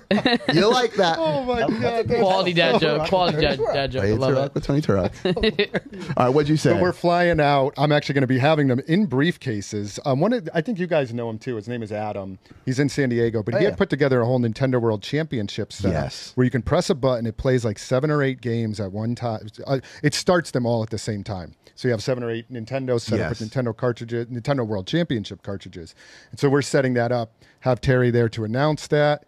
So Okay, so that's not exactly the same, but yes, yours is cool. yeah. That's awesome. I do like that. Yeah, I think you should be able to do stuff with people that relate to who they are. Like Yeah. we can have you game hunt with Phoenix Resale and live rip people off. Horrible. I'm just kidding. My biggest- Hey, I- let me say this real quick before you say. it. Yeah. Caleb, we love Phoenix Resale gets We so love much. him. I want to have him on and ask him what it's like to be so hated and so loved. That one brought me to tears. He, he is probably one of the biggest supporters of this Awesome. podcast. He He's going to be at Retro World this year. Come see him. Wow. We could do that bit. Don't, If you steal it, you're dead, bro. what were you gonna say? My, Chris? my biggest thing is um, how have you guys been able to like kind of manage your time since you've been initially added on to owning an expo? I Oh, can God, jump don't, in. Don't even ask. It. Uh, you go first. No, go Not ahead, go ahead. out. You're stressed. You go ahead. I like it. It has been. It is st- stressful in a good sense, stress, but. It has added a lot more when there's already a lot on the plate for me managing five stores and then running the expo. The expo gets very um, uh, in- intense, like a month before the show, like Oh, right yeah. now. So with all the guests and vendors and everything just going on flights and so much to do, and to add this on, it's just a little bit more on the plate. And obviously, that we don't even have dates yet. Yep. But it's certainly I'm even questioning myself, like, man, how much I've had to kind of restructure how I manage my day just to just to incorporate that into it. It's it's a fair amount of work. Curtis, want to buy a share? Yeah. yeah. Put me in. Put me in, coach. for for me, it's been a lot too as well. I'm you know I'm a very go getter type guy. That's just my personality. So even without the date set, I've been like trying to do every little thing I can to start things. You know, with the social media, with Mikey to to post to, to uh, asking people what they want to. Being on the phone with voice actor people to be like, are you going to come talking with Gerard? Like, are you going to be able to this? Who can you get for us? How can you get this? Like, I'm trying to be as proactive as I can. For me, I've always been this way with like all of my work that I do, multiple jobs, multiple things, and I'm always running at 11 the whole time. I honestly So- don't. I I don't He is. understand how he does it at all, crazy. guys. And for me, I love the workload too. That's not the thing. It's when I can't, when I look at my emails or whatever, and I can't get to them, and they compound and Oh, they yeah. go to the next, and then I'm like, shoot, I'm I can't get to all this Yeah. workload. That's that's where I. Yeah, because your brain is like, I am a workhorse. Let me get to it, but I physically can't. Yeah, and we were talking about it before we come in, like today, because like you, we're in some group chats and obviously Yeah. talking about stuff, and I feel like I know if I send a message out within five seconds, you'll respond, and vice versa. I'm responding to you within five seconds, and then we're like, "Where's Ricky all day?" Ricky, what's it like to watch me and Chris work? I mean, I'm not like these guys. These guys are, these guys are 100 percent. Especially Riff. Actually, both of these dudes, they're crazy. I love. Chris is kind of crazy too. No, they're they're literally going all out. Chris is like sending us pictures. Look, look what's in the storage. We got this. We got that. Then you got. Uh, uh, we actually went disc golfing the other day, and then Riff couldn't come because he was talking to Chris Redfield. I was like, that's so cool. Yeah, but like- these guys are literally going hardcore. I, I'm I'm talking to conve- some conventions, but No, no, I'm Ricky's been doing work. We're just Of messing with course, you guys. I'm 100% messing with you, and everybody works at different paces too. So it's no. Oh, problem. yeah. I'm I don't like- expect. I think people Ricky's going to be huge when it like- comes to vendors. Or, I mean, dates are announced. Oh, you can I get, get us going with all the. I'm going to get us some illegal I- wiring in there. I'm like, Wow, no worry. You hear that? Yo. He said it first. Yo. He said illegal wiring. Big insurance policy, thank the Lord. he said it first. You guys heard that? All games Nintendo needs to remake or make a sequel to. Oh, okay, okay. I, I, I actually made myself a little notes list on this one. This is some games that Nintendo either needs to remake or do sequels to. Do you guys have any? Beto, you don't have to show the people my screen. This is my cheat sheet, so you can keep that off of there. This is me just having it for myself. I'll start you guys off with one, just so I have it. Are you ready, boys? Let's see. Should I go with my first pick? Yes. My first pick. Oh, okay. This is already stupid. Why? Why? For real? Why? What? Why is there not a Punch Out on the Switch? Why don't we have a new Punch Out game? Hmm. it's a good call. For real? There should be a Punch Out game. I feel like it would crush. I don't. It doesn't have to be Mike Tyson, obviously. The Wii one was the last one we got, which I think was That was fun. underloved, maybe a little bit. I'm saying Punch Out on the Switch, but please, Mr. Miyamoto, if you're listening, Miyamoto-san, do not make it motion control. We don't need it. Leave that option in there, but don't make it a must. I will say, why are you saying it? Isn't that the respect, Miyamoto son? That's perfect. It's perfect. We'll leave that one in. pretty good. It's Leave pretty it in, good. baby. Or I just offended everybody. Tony from the Camel Crew. I'm sorry. All right. I, I got another one. I, oh, I don't know if I'm going to get love on this one. You guys better be thinking of some. I already have some. Uh, okay, you go next then. I, yeah. I'm a huge Pilotwings guy. I want more Pilotwings. Funky soundtrack. I think bring it into the Switch. Give us some of that funky soundtrack. Now I will say, I might be a little more receiving to motion control on some of those landings. Like coming down into the paraglider and landing it and a little bit of motion control in there. Or maybe holding out to the side like the little wing paraglider guy. I think that could hold hold a good stick. Curtis, while these boys are thinking, what do you think? I want another Simpsons hit and run. Oh, wow. I loved that game, man. I could play that game for hours and still be happy. GTA with yellow people. Yeah, yo, That's what my brother always called it. That's perfect. but I loved it. Uh, that is a fantastic game. Yeah. I think that'd be a good choice. And right even there. I even think that they should make another Mario Odyssey. oh well, well that's gonna okay. Let me jump in and say that Oh, he knows. That's just Nintendo. Let's go. Oh, oh, man, I'm gonna make so many people mad. Oh, it's all right. Nothing better to make people mad than looking at the camera while doing it. Nintendo. I know people like Tears of the Kingdom. I respect that. If you give us Mario Odyssey 2, please don't keep it the exact same and just call it a new game. I, I'm saying that with love because Breath of the Wild, I loved it. When I saw Tears of the Kingdom, I was like, same graphics, cool. It's an expansion pack, but they're calling it something different. I know it's not. I know it's not. Don't give me Mario Odyssey and put a two on it and just add a million things. I want a new game. I like when the Zeldas were making new Zeldas, new graphic style, new this. You're like, whoa, that's a new game. I want a Mario Odyssey 2 that's a new game. Did you just dump on my sequel? I'm just kidding. Yay and nay. I know there's going to be a lot of hate for that, and I I, I get I, it. I get what you're saying. No, I, I would say that if you give it a new name and, it, and a different type of look to it, it I would feel like definitely sometimes that works awesome. though. Like Diddy Kong's Quest. I I know. It sometimes works, but yeah, you're right. It is would be nice. To There's see a lot something like different. Galaxy 2 worked, and that's basically the same thing. Mm-hmm. I get it. I mean- I just I, I put so many hours into Odyssey 1, I don't need more of that exact. I want Mario Odyssey 2 that's like the same, but give me something new, like like Mario Wonder, the new game that got announced. Oh, that looked It's like paper. What is that? You didn't see it? I didn't see it. Oh, You It sounded like the Arkansas Chris. picker when you said that. It's basically new. you didn't say it. Hey, mom, say something dumb. all right, so you know how like there's new Super Mario Bros. Wii, and they all kind of have that same look. Yes. It's basically like that, but it's completely new graphic style. It's almost like Yoshi's Crafted World, or like Yoshi's Oh, I like has that. a little more paper mache looking. Oh, I like that stuff. So it's it's it's like the same, but it's new, right? And that's kind of what I'm hoping for if we get a Mario Odyssey 2. All right, boys, you're No, on the it's hot seat. I know you guys weren't prepared for this. Oh, Ricky's ready. uh, Kid Icarus. Oh, I'd like to see one. It was on my list. I'd like to see one on the Switch. go. The last one I saw was DS. That's the last Yeah. time I saw one. Uprising. Yeah. Whoa. Which I didn't play. Like, I, was like, should have. Wait a minute.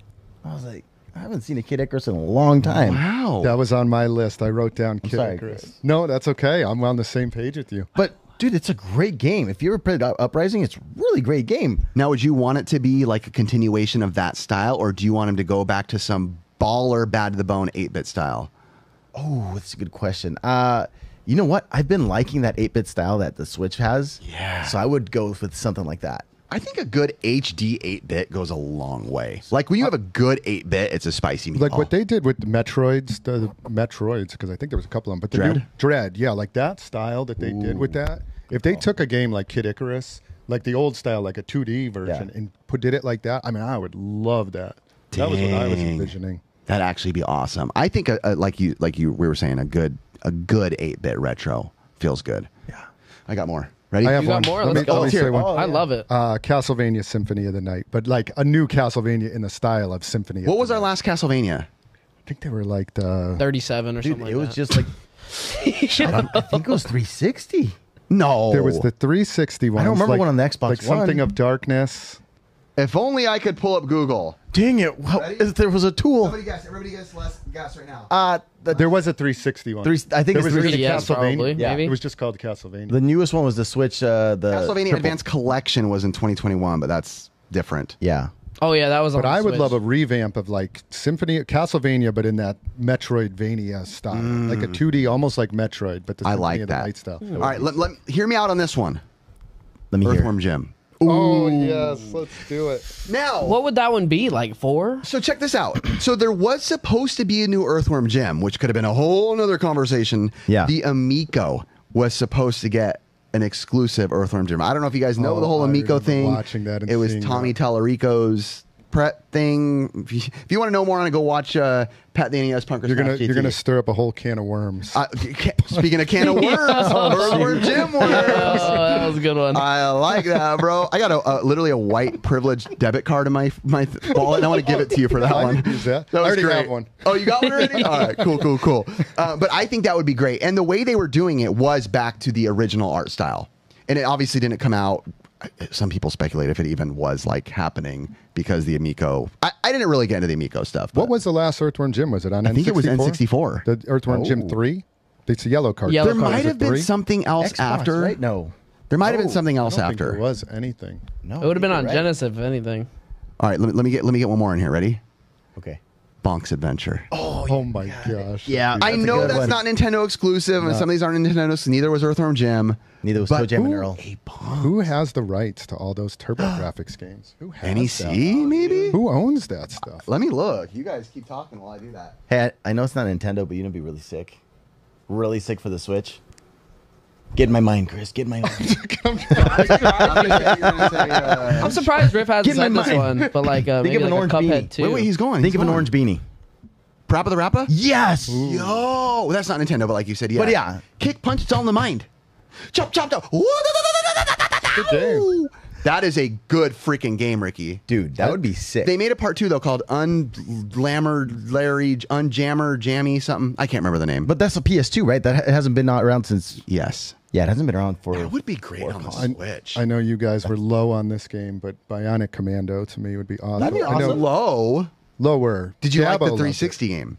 I never. I tried it and I did not like it. It was like a 3D version of that. I, see want that the 2D. work. Yeah, there you go. Metro, like Metroid, the way they redid that Bionic Commando. So I'll tell you right now, I loved the 360 version. Did I you? beat that game twice? Really? I remember it had a disappointing ending. I can't remember it what was a 3D, like third person. It was basically behind. like playing Spider Man, but for non Spider Man fans. Really? You were Oh, 'cause basically you're just, just swinging, swinging around, around. the world. Yeah. Yeah. Just a straight up swinger, just like Curtis on the weekends. and then also, I wanted this one. I think this would be cool. Not a lot of people might agree. Base Wars. Chris is just laughing. Nobody's giving me responses. Chris is still laughing for you audio listeners. Did anybody play Base Wars on the NES? Base Wars was fun. It was really fun. I did not. did. So I dare I say, hate might be a strong word. Baseball games, realistic baseball games. I loved Ken Griffey's Winning Run, uh, a few others on the Nintendo. But Base Wars was you play as robots. The population of humans was going out. It was cheaper to hire robots to play in the MLB or whatever it's called, and they got all robots to do it. Was fun. You could fight just like hockey. All the pitches were fast. There was cool music. I think it was by Ultra, which is Konami when they ran out of rights to make more games. Super fun game. I feel like for me, I haven't enjoyed a new baseball game in years. I'm saying years, years. Like at least one. You ever played? no, I Yo, I, I wish they would bring back Slugfest. Man, I used to love that. The Like, Mario you- one? No, just regular Slugfest. Like where you could be a, a lion or you could be a dolphin, a little leprechaun team, and then the- like you'd hit them and then they'd flame up. You don't remember any of that The stuff? dolphin the that sounds leprechaun? fun, but I- I've never You played don't it. remember any of those? Chris's acid trip four years ago. Dude. You guys don't remember making up playing the game as we Slugfest? And go. then it's like if you hit the batter enough times that they would just flame And up. this was a regular, and this, This was is a a regular regular game. This was a regular baseball game. yes. Wow. You don't remember Never that? heard of it. What did that have to do with leprechauns? Yo, you could be a full team of leprechauns. Like you'd have the Really? same base stats as a I never person. played that. Wow. No idea. You got any more? I got more. Um, I did have one. Did you have Ricky? I did, but I think One? I know I lost it after the leprechaun. But it's technically not Nintendo. what? Chrono Trigger. I mean, that's Oh. on Nintendo. We'll count. I that. had one. Zombies ate my neighbors. Oh, Two That would be things. a good one. Ricky, Chrono Trigger. Great call. Good call. Great call. Great call. Did they not make any more Christopher, Triggers? I literally knew you were going to say that. I know, when I was making this list for myself, I was like, oh, dude, he's going to say. Yeah, they have. They, they didn't do anything after that. I don't blame him. The game was garbage. I know you guys garbage that one too. like it was straight up garbage. Low rankings. Okay, this is one I wanted. I want a good Jurassic Park game. Ooh. We've had many Jurassic Park games, but there's never been. I mean, there's been a couple What? decent ones. What about one where you play as the T Rex? That'd be good. That'd be great. I, I think they might have done that on one of the do that? Sega consoles. Maybe I could be wrong. isn't that the arcade? The arcade one's still the best for me. You're you're you're the T Rex. And then Are they you did it. really? Oh wait, wait. No, no. No, you're driving. Driving. They did a Jurassic Park also though that was um um um um, um, um oh like you build the world kind of like Oh, evolution. that was Genesis, I think. no, no, like uh, recently. Lego. Ricky, shut up. Hey, that wasn't that. That's That was a great game. That's, why I'm like, that was a great That's game. That's probably the best. What are you laughing at, Curtis? Lego. Lego. That was like the white. That, that's the most white sounding thing coming out of Ricky's mouth. Like if you would have, if for audio listeners, they probably thought that was Chris saying that. Lego. but little they know it was the This is a brown bearded mustache man. today, man. Wait, wait, wait, wait! I got one more. Oh, it's kind of like it kind of reminds me of Dino Crisis. That's what I would like. But okay, I got one more. And I'm gonna call it. Uh, which one of these do I pick? Oh God! All right, I'm gonna say both of them: Super Spike V-Ball and Skate or Die. You know why I say Skate or Die? I love the skate games. I love them. I love them, but they're ultra realistic, which I love. But I want a good arcade jam style, not in the third person view like Tony Hawk. I'm talking Skate or Die, different events, 90s thrash, grinding cop cars, being stupid, but not the Tony Hawk style. Not the. T- I'm hmm. talking straight up. Give me a good 32 bit version of it. Spice me up and call me Sally and slap me. Hey, hey, can I throw a me random, random one that I really wish they made a part two for? Can I guess? Yeah. Call of Juarez. No, they made a part two of that. Why are you laughing? I love that game though. Call of Juarez is good. Pick the brownest name I could. Dude, Horrible. it- it's random, but I love this. What game. is I it? play the heck out of it. You did too. Broforce. Oh my! God. I wish they made a part two. I would have paid money for that. You need to play. Bro I was Broforce. like, I need, I need a part good. two. It Dude, is I good. played Broforce with my son, So and my good. son brought that up recently. I was like, "Hey, what game would you want to play?" And he was like, "Oh, he was like Broforce. I'd love to play that again." I was like, "Why did they not come out with a sequel to that?" the most America game possible. Everybody you play as, America. you play as every like '90s like He-Man oh person. Oh, that'd be Blow sick. good. and you just everything is blow upable. What what was this on? Like any? It was downloadable for like PS4, Xbox, PS4, all yeah. that. Oh, But Every level, when you beat it, you shoot the devil, you gun him down, bl- pixel blood everywhere, and you jump onto a helicopter with one arm, Oh, and immediately so goes. good. It says freedom and just crazy like. this is like the most so Rambo thing I've ever good. seen. Yeah, it is Rambo-ish. If you could only be a gamer or a collector, what would you pick? And you can only choose one. Oh shoot! This is okay. Go ahead, Ricky. What was your question? Can I play the games as a collector or no? It's just No. straight up Gamer or collector? You can't have nothing in your garage, man. So let's set this up. This is rough. Gamer or collector? So this comes down to two real questions playing video games or the thrill of the hunt? This is really what this comes down to, right? A gamer, you get to play those games, and we're talking current right now. You're given the choice. You never get to play a video game again, or you never get a hunt again. I'm gonna say I'm a gamer. You would pick gamer. Oh, 100%. I think I would just have too much connection to the fact that like I went through college playing games with like all my baseball friends. Uh, I would be able to connect with my friends like back home. Yeah, when I had friends. And then uh, like you would just be able to play online, communicate with people and just be able to like make connections. Like even when I was in 8th grade, I played Gears of War. I like have lifelong buddies from it. You know what I mean? So I would say gamer all the way. I have to say, I, I did think about this one when you told me this, Curtis. This is a, this is a, a- an important one. I would say for me, I'm gonna go collector, and for me, and I've said this before. A lot of people at the swap meet recently have come to me like, "Hey, what are you collecting since the shed flooded? This and that. Like, what is your collecting?" And I say, I'm always collecting fun because I my, my it's all about me collecting the experiences with you guys, like out at the swap meets. Going to the swap meet, waking up at 5 a.m. By the way, the other day I realized that I'd never wake up outside of the five o'clock hour every day of my life. Never outside of the five o'clock hour. Weird. I never thought about that until the other day. Time do you go to bed? Like five o'clock hour. He go- Pretty late, like midnight. yeah, he goes to bed at Dang, 12 for really? sure. Yeah. Yeah. Like a five hour guy. Yeah. But with that said, I am obsessed with the hunt. I think of like, you know, a big example would be, you know, Mike Wolfe and stuff. Like when I play video games, for sure, I cannot deny it. I get emotional. It changes my my mood. It can get me through dark times. It can it can help me. It can make me, you know, I don't know, excited. It can do a ton of things for me. It's given me some of the greatest memories and nostalgia of my life, which is now responsible for this and the show and owning a convention. But I think in current day, I still can get most of those senses of thrills and I can have, b- build the nostalgia for in the future for what we've done together and all that from collecting. When I see American Pickers and I'm watching it, every time without a doubt, I think like verbally, like that is the greatest experience to me. Just going around, meeting new people, and just you never know what's going to happen. Not this doesn't take away from the gaming thing, right? Like it's No, very, I think it's all it all coincides with one another. Like for me, I mean, like when you explain it that way, of course, it's like it's gonna sway me towards. But I'm, I'm gonna say like in most of my downtime, I'd probably be be a gamer. yeah. 100. percent I get that. How about you boys, man? Ricky, I was Rick- gonna say games, but then he kind of convinced No, me. no, don't let me convince you. What were we gonna say? Don't let me convince you I- out. So you brought up a great point, but I always I always think of it like like I I also like play games with my kids, so I'm like, am I do I have to give that up too? So Yeah, I guess would. as a I would ha- have to say gamer then because I don't want to give that up. That's like some of the best times I have. Wii U with them is my favorite thing to do with them. So you pick gamer, huh? I mean, I can see it, you know enough- why? Because I mean, like your kids, like you have Brixton, who kind of he's more on the gamer side of it, but like they don't like games, but his kids play. Like True, Maverick they really was- do play. Maverick calls me over. He's like, "Hey, you want to play Mario like with me?" I'm like, "All right, dude, I'll come over here." That is you know? true. I didn't think about that. My kids don't really care about games that much, so that makes sense. That is a that is a that is a big factor into this. I bet you this It's is a huge be factor for I me. see Chris right now looking like deep most into his soul. I, I am, yeah, because I had to really reflect on this. Like, this is a really, really tough one because for all the reasons you.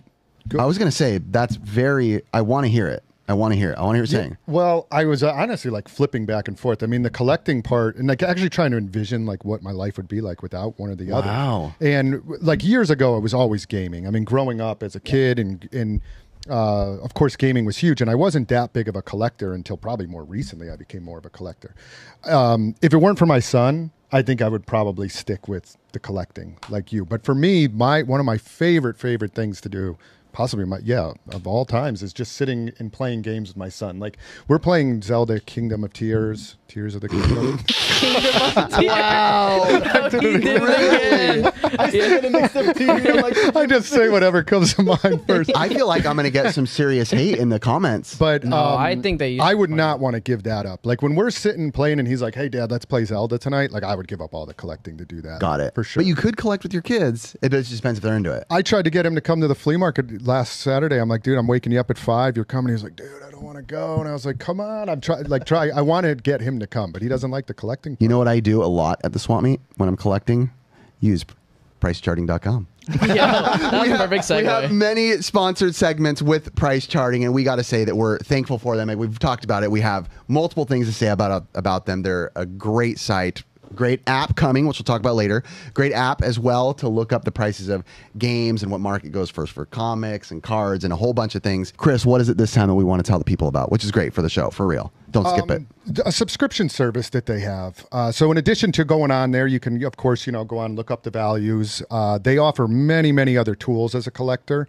Um, some of them you do have to pay for. They do have a subscription, a monthly subscription service that's six dollars a month. They also have one for retailers, which I believe is fifty dollars a month. And I know that because I pay for that. Actually, I I am a subscriber to the retail. And you've my been a subscriber. All five Yes. stores, right? All five stores, yeah. wow. So And, and I think that's important for them to know too. Again, yes, this is sponsored by them, and we're going to be working with them, but this is integrated into our day to day life. Oh This no, we all use it for sure. This is not like a oh sweet, uh, this is a better check out this anime game that we really love and we've never played in our lives, but this is ecosystem for us. Yep. and um, so for the six dollars a month, uh, I'll read off some of these. You can do a. Uh, they have a lot value calculator, Okay. so you can track the value of your items going up or down with price change icons, which that's pretty cool. Super you- cool. You can add them all, and then you can see if they've gone up or down. You have unlimited collection folders, so you could organize into.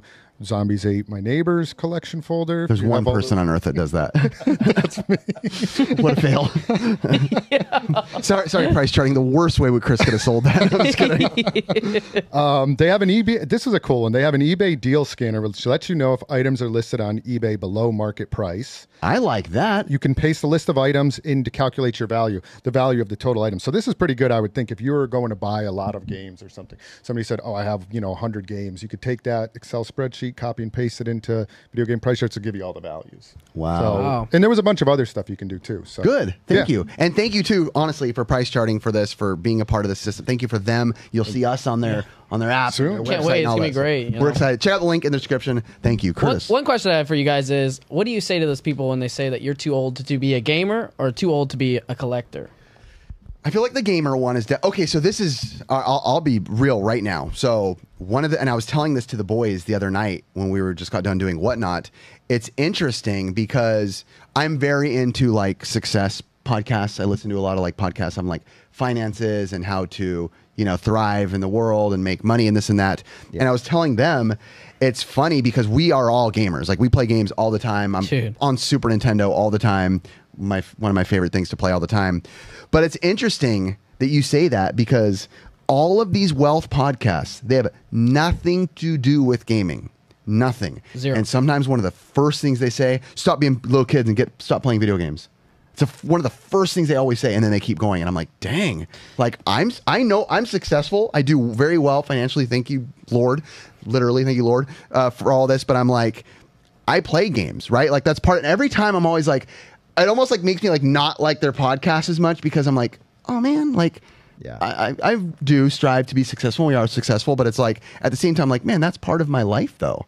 You know, it feels like a little like kicking, kicking the, kicking the groin. Yeah, I think uh, there was like a podcast, and I follow Joe Rogan like religiously, and he he made that comment as well. I was like, you know, stop playing video games. I didn't know I'm that. like, I didn't hear it from him. And I'm like, man, it doesn't make me think of any less, but that's just his opinion, right? True. Like for me, like I got like I don't know, like two thousand hours on Apex Legends. You know what I mean? It's Now, like Curtis, that's not something to brag about. it's not something to brag any, any other game that I've been like, nice. Bro, I mean, I'm not. I'm just saying. Like, I, I, I spend a lot of my time. I think it's a big time for for me to stress, like a stress reliever, and it's also a big thing for other people. It's like Yeah. you come in and you you just want to like game. I mean, it's like you just worry about nothing else. It's just you and the game. Now, don't I don't. This is this is just me asking you. Do you think that is a two thousand hours that you're glad you spent, or do you think you could have used that two? This is not me hating on games. Me just literally opening conversation.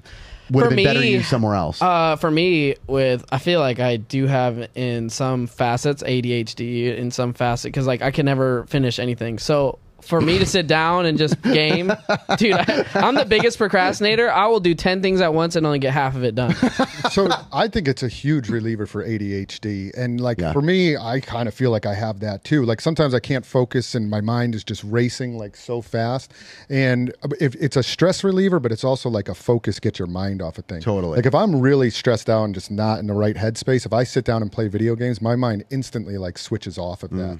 So in line with all the work we do and talking about work and stuff like that, you do need outlets. I feel like to as stress relievers. Some people go to the gym. You go might do meditation. Running is you my- might my run. stress reliever, yep. Yeah, and gym for me is meditation stress reliever too. Working on those legs. I'm trying. I'm trying really hard. did we tell the podcast that we do that, or do we Probably tell- not. So we send videos. Chris will send vid. No, I'll send videos of myself like curling and be like, "Must look like Chris," and then he'll send videos of him doing leg presses. Like, Must get legs like Riff, and it's just it's a funny thing. I have a long way to go. My, I, I told you that my wife saw one of those, and she's Did like, she really? is happening? What is this? She saw it. she's Are like, you "What?" cheating on me? Yeah, are you? Are you? No. Yeah. so, Chris, did you end up deciding like you'd be a gamer more than you'd be a collector?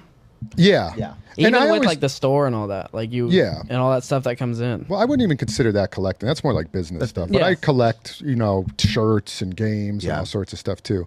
But the ga- but gaming for me, and I had to look back at like why I was always have been a gamer and drawn to video games. Yeah. And I think it is for that reason of like stress and anxiety. Like when I needed to get away from stuff, that has been my go-to. Yeah. And um, and I think a lot of other successful people do that too. I saw a video a long time ago of uh, you know Jonathan Davis from Korn, the lead Yes. singer. He's Yeah. a huge gamer. And he talks, they interview him about why he's a gamer. And think of that stressful career. You know, you're a lead singer Oh, of a band. And- Sasquatch.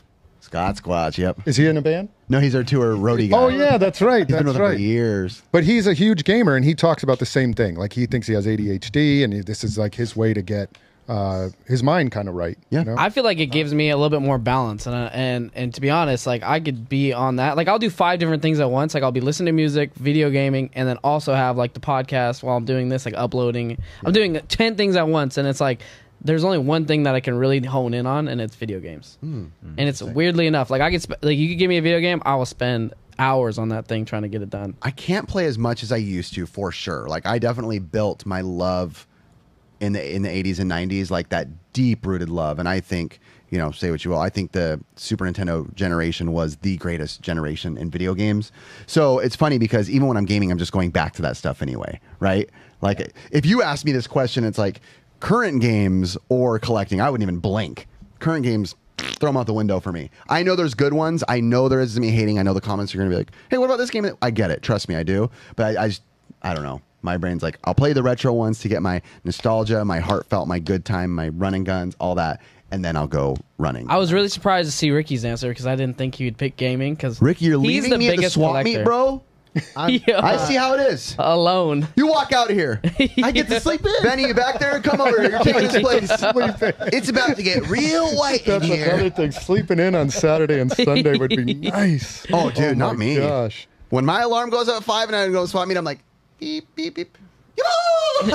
It's time. Let's go. There, there's some weekends when I'm not there where I'm like, I just need a break. I need to just re like recuperate and rest. And Not me. If Yeah. I'm not there, I'm like, oh God, Ricky, what are we missing? It's a stress reliever too, though. When you go out there, It's- Yeah. it's eh, For so sure. fun. Like I said, that all Yeah. coincides with one another. It's just like you'd have to choose one. That would Yeah. one.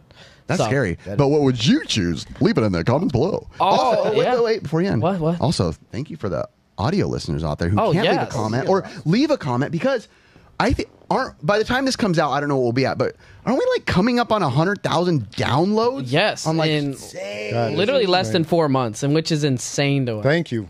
And That's, yeah, thank you, and guys. thank you guys for all the positive reviews. We I read them all, and it's just like we take the feedback and we try to just keep going with it. Like it's it's amazing. I, I will say that is a massive number for being downloads, not listens, not that. I mean, that is that's massive and overwhelmingly bigger than I expected. And we're trying to get our podcast out every two weeks on the full audio length. Yes. So every uh, audio listener out there, please look, or even the video listeners, it'll be linked to the description of every Yeah. YouTube video, and you can find out on all outlets. Even our social medias will be linked. So, Yes, sir. And, Ricky, and Ricky's. OnlyFans. and Ricky's OnlyFans.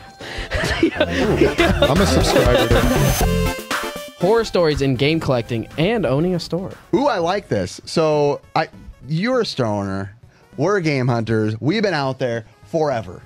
I know that I think Ian has done this before, like horse. I don't know what he called it, but whatever. And this isn't where I took it from, but I was just like talking to Chris, and we are talking about things that he's gone through. I'm like, man, I'd love to hear a couple of, even from Ricky and I, if you have one, like maybe horror stories or things that you don't want to relive for anything within your world of owning a store. You know, I had to really think about this one, and I don't have, didn't have that that many. And I'm trying to think of like a horror story. I could start off with one of my horror stories.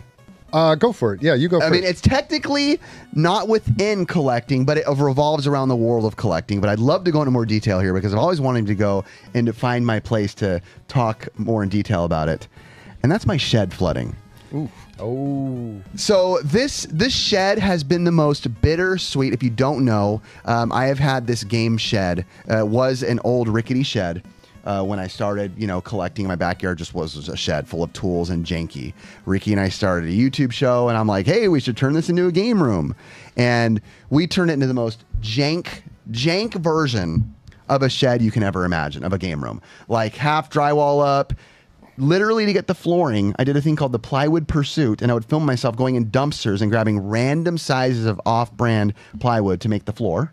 Which I find funny because aren't you kind of like building inspectors, both in one We don't sense talk or about another? that here. we don't talk about Bruno. Yeah, at the time, bro. All right, I was just a churro slinger at that perfect time. name. All right, we need to get a churro stand at SoCal. Uh, but I- okay, but moving on. So, and I got my my my flo- my flooring and, in dumpsters, and I got my carpet and dumpsters, like four foot square here, three by three square here. Ranky janked it together. Through time, it started to get mold. Right, maybe a year started to get mold. I'm like, all right, it's time to move on from this. Let me kind of refix it again, redo it again, take down the drywall, put up new drywall, clean it, do all the stuff. It happens again in like six months. Then I'm like, okay, I need to do a real remodel. So I take off the drywall again. This is the third third iteration of the game room in a few years. Title rat right there. There was rats. I opened it, boom, and like about seven rats jump, were inside the drywall. Eee! And there was this one one rat that we've showed on the show before. We have it on footage. A one rat ran away, climbed up the side of my game shed, and literally just went like this and went. And for the audio listeners, he looked both ways and just dove off. And he landed headfirst and he conked himself out for like eight seconds. He's just like. He went into Curtis mode for like eight seconds, and then he got his bearings back and went off. And he went off. And that was with Cur- people say I'm too mean to you, but it's because I love you. No, I know. I love you too, man. Okay, Don't thank worry. you, sir. I love all you guys, man. Thank you. We love you, Curtis. Um, and then we had like a real contractor. This was like my time of being like, all right, I ranky janked it with me and Ricky, figuring it out, just like whatever, hiring a contractor, getting it done right, put all this money into it. Proper drywall, proper flooring, proper elevation, proper this and that. Stoked. All right. It's already semi horror story because of the first two times have already gone bad. About six months go by, the flooring starts bending and bowing backwards, all of it. I start walking, I put my foot through the floor. And I'm like, you got to be kidding me. Oh, yeah. We put like the wrong flooring down. We put didn't put anything that's weather treated, anything like that. So the flooring's bad already. Call Ricky and my buddy Andy. All right, redoing the shed again, a fourth time. Redoing the shed. We're gonna put new flooring in. All right, stupid riff and his messed up, you know, messed up floor. So we go, we get the guys, I buy them lunch, we buy all the, dry, the the proper flooring and everything, get it done. It's done. Finally, right? Everything's done. This is proper. This is the fourth game room. And California, about a year ago, maybe a year, no, yeah, about a year ago, maybe not even, six Not months even. That's like six. six months ago we get crazy rains which we don't get here in california right so my i'm not ready for any of that in california and it was one of those situations where it was raining hard night after night. I didn't think anything of it. I'm like, yeah, there's drainage back there. I'm sure. I don't even look. I'm in California. I'm like. I'm just dingus. I don't know. And I go to bed one night and I hear the rain and I kept waking up in the middle of the night. And there was something in me. It was like, I feel like something's going to happen with the shed. Like it was in my brain. Like something's not going to be right with the shed, with my game room. This is already fourth iteration of it. Um, finally, like 4.30 5 o'clock hits whatever it is where sun starts not even sun but just like light because it's cloudy and rainy out. And i open my eyes and i was like I, I need to go look at my shed and see. And i run to the kitchen and i open up those the, the the drapes or whatever it is right above the sink. And i just immediately see this giant seven foot wide puddle like couple feet deep of water. And i'm like please no like please not again. And mind you this is when we just started collecting paper. And i have all this expensive paper and guess where smart mr riff had his paper? All on, the, floor, on top of like a piece of like other sheet like construction paper so it wouldn't get dirty. All on there. I don't even i don't know why i didn't think about it. All i admit this is all me being stupid over years. As you can tell i'm not I I don't know. I mean, that was more of like it just unplanned. Like it just those rains were different. Well, I basically I run to the shed barefoot and I open it, creak the door, and I'm like, no, the water level didn't drop down. It just stayed the same level as it was. And I'm already a little bit above ankle deep in my shed. And I open it and I could just see all my paperwork floating. My ET press kits, all this expensive stuff, my my VHS, my, my high end. VHS, my games, consoles. I had a ton of Wii's on the floor, and I'm just uh, panic mode immediately. I, I at the time texted. We, I was in a group chat with Ben, uh, Ricky, and Curtis, and I immediately am like, "Boys, I need you." And by the way, testament to these guys. They were all there. All of them were there within like 20 minutes. So I was like, "Holy cow, these guys are good friends." But at the same time, it was one of those situations where I have thought to myself, this has been a really cool part of the show because we Ricky and I built that, you know, shed basically its inners for the past, you know, eight, ten years at that point together. It's been a part of the show. Retro Rick actually was like, when I told him what happened, he's like, dude, don't tear it down. He's like, that is a huge part of your show. Like, Retro Rick, huge fan. He's like, I've been watching that shed for years, for years and years and years. Please do not tear that thing down. It's a part of your your history. But to me, it's like I haven't fixed it since then. And this was like six months ago. Part of my brain like can't get myself to do it again. You don't even walk out there. You, I don't go out there You anymore. sold. I mean, I went there and you, I, I bought a bunch of the stuff you had in. There. Oh, there. I've sold a bunch of stuff in there. Yeah. Right now, there's I'd say a good amount of NES games. Yeah.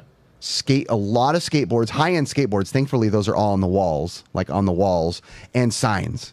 Those are like the main things that are in there right now. Everything else has been moved out or sold or put somewhere else or pawned off to a friend or traded.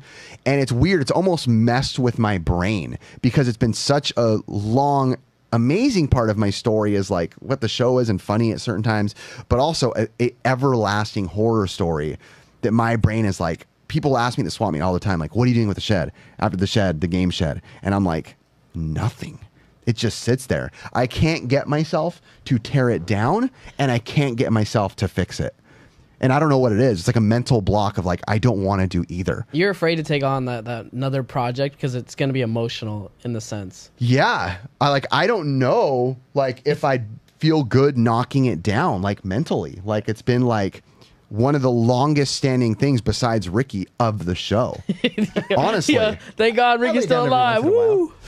Ricky's never let me down. Yeah, Ricky's always been the first person that's pretty much been there to fix everything. For Oh yeah, Ricky's always him always and Andy, I guess, right? In the Yeah, my buddy Andy too, clutch. He was like the only smart man. Dude. We're all out there with like, hey bro, it's like flooding and still coming in. And we're all out there with like little buckets and spoons, Well, like splashing I out water. I didn't want to start just like taking a shovel and just start making trenches around your Yeah. yard to like to be able to divert the water. Dude, so the dog trenches though really helped.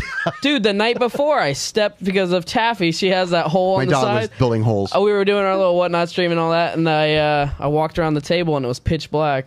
I stepped in that hole and it was full of water. I, I've My never, leg was I've just never asked you your opinion on it. Like overall, like what are your thoughts? Like if you were me, I mean, you've been on the show since day one. Yeah. On the shed, what would you do? The game shed. You really want to? I would rebuild it because it's so. I, to me, it's always fun to rebuild it. So you're saying rebuild, like knock it down and rebuild it, or remodel it? So, I I would say remodel it, but I don't want to go through that again. Like I have, I, ha- I had fun every single time we rebuilt it. But if we're gonna rebuild it again, I don't know if there's a way we can just like lift it up, put it on something. Because Rick's right. That's like part of the show. That old raggedy, Yeah. full of possums shed is the best thing we've. We're, we're doing when we used to do whatnots back there. You could literally just hear possums fighting up there. it's like this I used to freak out, man. This, I just hear this, this little chatter above me. You're like, oh, it's raining. But it's it, it. I almost think if we did tear it down, I'd have to like leave a wall up. You know, like, and that's the wall we film on. Because I, I feel like if that thing went down, bro, we'd have to like film like you know a Tim Allen, Tim the Toolman. It's like a proper remodel. Salute, oh, oh, oh. salute to our shed. You know, because I don't think I could just tear it down with. Sounds like it has so many memories that, like you said, like you wouldn't want to take it down. Maybe make it a collective thing where you get a group of us to come over and help you rebuild it. Make Yeah. it sturdy or something Don't like sign that. yourself up for something I'm unless you signing my, help. I think I just threw, put myself out there. If you Chris, needed the are you good with tools? Yeah. Yeah, I actually am. I used to work build like houses with my brother, so I'm pretty. Really? Oh, oh, I was. dang. I used to work with my grandpa in should've called resident. you. No, I'm not great, but I can cut wood and like put up walls and Yeah. stuff like Curtis, that. you good? Yeah, I used to work with my grandpa in residential construction. So Oh man, I was calling the wrong guys. Seriously. Me and Ricky said there with Tic Tacs and Thumbtacks. yeah, that'll hold. yeah, that'll do. my my grandpa's uh he's 85 and he still do general contracting. That guy is amazing to me. but Like- that kind of stuff, I feel like keeps you going. oh yeah, he's as witty as could be. I think if he didn't do that, it would kind of struggle. I feel like that is such a crucial part of longevity and youth is continuing to stay active and thrive and do things and give your minds, you know, one of the, you know, places to be. I used to read meters in like old homes and old folks homes and you could see the ones that were lively were the guys that were outside in the back like just chatting it up or building something or doing some gardening and then you'd see the guys who like you know are sadly like you know slipping away just kind of like watching tv with no real you know pursuit of anything which is what would happen to you guys if you guys picked gaming over collecting Yo. From our last no topic. way, dude! I'd be like the, on the 14 year old. I'm still destroying you, kid. in video games yeah, wow dude. I was just I- dunking on teenagers I used to work a lot like we we do like old folks homes, and I'm just like looking. at them like, man, if they were playing games, they'd be having such a fun time right now. We both- I was gonna say I've always wanted to know what the future holds for us when we're like Right. 70, 80 years old. in a- Collecting. in a, nursing home. The collecting is long gone. We're done. We're- Wait See, a second. if you guys keep gaming over collecting This is- you will be in a nursing I, home Hey, but don't I want to be the like 80 year old gamer. I hope that I still have it within me to sit there and like Yeah. game when I'm 80. Yeah. Instead of just like blindly like watching the TV to like Yeah, still yeah. actively. And I think it'd be good for your brain to be sitting in there, you know, gaming. Yeah. But I've always wondered if our generation will end up There'll probably be a swap meet simulator by then. Yo, that would be Wow. sick. I don't Hey, like that. I don't like that. No, hey, honestly- trash. No. Put on Hey, the honestly, VR. I got I get hyped up. I don't know if you guys ever seen it, but pressure washing simulator.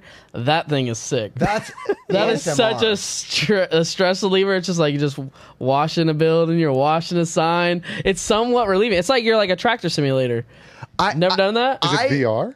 no, it's just like in the you know, it's like PC or anything like that. Like it's on a Steam. I do not like the idea of collecting swap meet simulator. I ha- dare Yo, I say I that'd hate that idea. And then the the var- the the variables I'm that go into that, that'd be sick, dude. Like what do you get this week? But I want it to be VR, and we're 80 years old. We're sitting in the nursing home, and I hit you guys up, and I'm like, "Hey, put on the VR, and we''ll go back in time and meet at the swap meet." What if we all have a crazy arthritis we can't get up? Or no,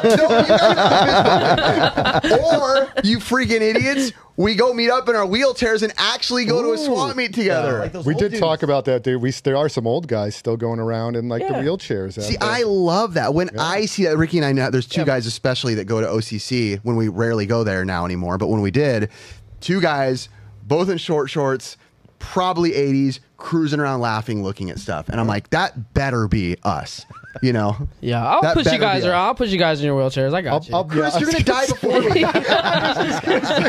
Yo, I'm 10 years younger. No, we be all right. We be all right. There's no way you're outliving me, bro. I don't Yeah. care if you're 10 years younger.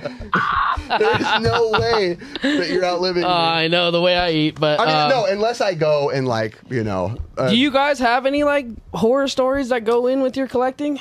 Not like I- that. Like, like I mean, that's a- literally. yeah, that story. I the only thing I could really think of is like we recently with the stores. Um, we had a we we started getting a cockroach problem in the back Oh. of one of the stores, and we don't serve food. You know, we don't have anything kind of. So I thought maybe it was us with the food, maybe guys eating or something like that. that's what I thought. And yeah, you would think, right? And I was like, oh, you got to take yeah, Blake, Dang you got to it, take Blake. the trash All out that smut. all that. Um, You're just dirty spot attracting Cockroaches get attracted to it.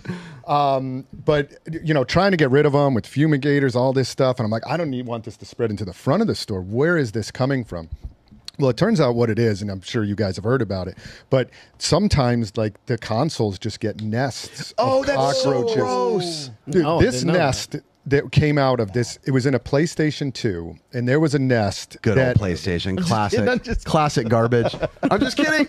so we've we've we've had this happen twice now. Once was a while, like a couple years ago.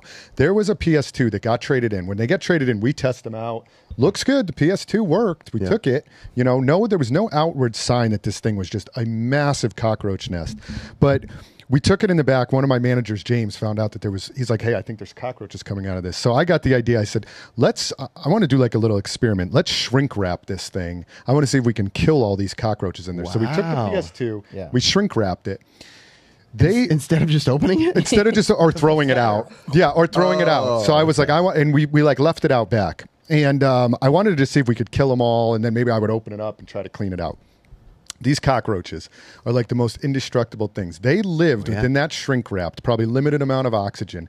They must have been eating each other. Oh. And by Oh. the end, there was literally like thousands of cockroaches in this shrink wrapped PS2. wow. Yeah. So anytime we have a cockroach problem now that comes in, I know where it's coming from. We have to check all the consoles. It's probably in one of the consoles. There's a cockroach nest that gets traded in.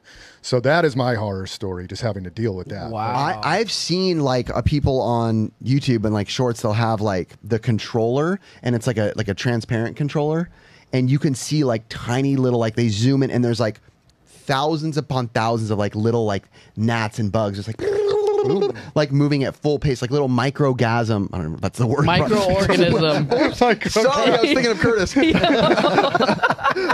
I'm so sorry, Curtis. Microorganisms. Please pick on me more. yeah, no, you're good. I, I, I It's not in my you. nature. You know how it goes. Yeah, yeah. But I, I've seen those before, and I'm like, that is disgusting. But I think it's pretty common within. But this is with a microscope. Yes. Like tiny organisms. Okay. You- Right. That's what you're talking about. yes. Right? No, Yeah. no, no, you can see to the eye. I think Yeah. my biggest horror story is when I came home and like we just got a new puppy, and we have the GameCube and like hooked up to the TV and it's on the oh. floor, and you let the little puppy run around, you're not really noticing it, and then you come back and there's pee. Oh yeah. The controllers are ripped up by the wires. Yep. Your games are all scratched up. Like literally, I came home and was like my whole collection of just like common video games, ma- maybe major party ones, but like they're just all tore up. And you just sit there and you're like, Mom, When was that? Ah, dude, I was probably in eighth grade. Oh, wow. like that. Maybe even younger than that. Curtis's mom just wanted him to stop playing video games. She's like, yeah, the dog did it. no, that dog. That dog was. That dog was hilarious because like it was funny because you would smell the poop and you'd be like, it was there around Christmas time. Christmas time, and then you'd go and you'd try to smell where it's at. It's right under the tree, like a little present. Oh, and you're oh, so you're like crawling, like it's the most degrading. You're like crawling into the back of the tree to grab dog poop. It's just like man, it I just love gets that. So your everywhere. dog would poop crawling. Dude, That's pre- what are you that's talking about? It's a puppy dog. It would go under the tree. I'd be the one crawling for it. So Good old wouldn't be one of the present that I would want, but um, Yeah. it would suck to see like your stuff would just get destroyed by just an animal. Oh yeah. you know what I mean? They don't know better. They're just playing. How about you, Ricky? Nothing. Nothing crazy like that. I think the craziest thing was like I think it just happened like two years ago. I was organizing all my PS2, Xbox 360, and Xbox One like library. So I left it outside. Like, all right, so Costa Mesa, you know the do in the mornings, right? Oh yeah. So, dude, by I the took, beach. I took out everything out of the shed. If you guys have seen my shed, it's insane. There's a ton of stuff in there. So I just put all these games all around my tramp, my kid's trampoline, and I, just, I I left them there. I got I got lazy at the end. It was like ten o'clock. I was like, you know what? It's not gonna rain, nothing like that. Go to sleep. Wake up in the morning. The dew was like a rain dew. So when I got outside, it's a rain dude. dude. all dude the rain all the games are ruined so i so if you guys see my ps2 collection now it's nothing i oh. i was so mad i threw it oh. most of it away because i don't like just disc only games and That's what, that's what hoarding does to you, Ricky. You lose track of where your things are, what's important, and how to keep it organized. dude, Dude, i lost some it's real good life. games You could probably press that stuff now.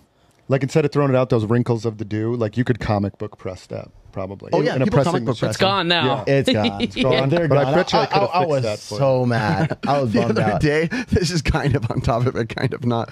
The other day when we were looking at uh, some footage, Jared, my editor, sent it to me. He's like, "Yo, look at this clip, right?" and it was.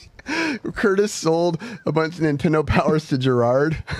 Poor Gerard's gonna learn this right now. And there was like a good one in there, and you can see footage. And I never said anything. What happened? Of me going through the Nintendo powers with one hand. I'm like, oh, this is sick. This one's sick.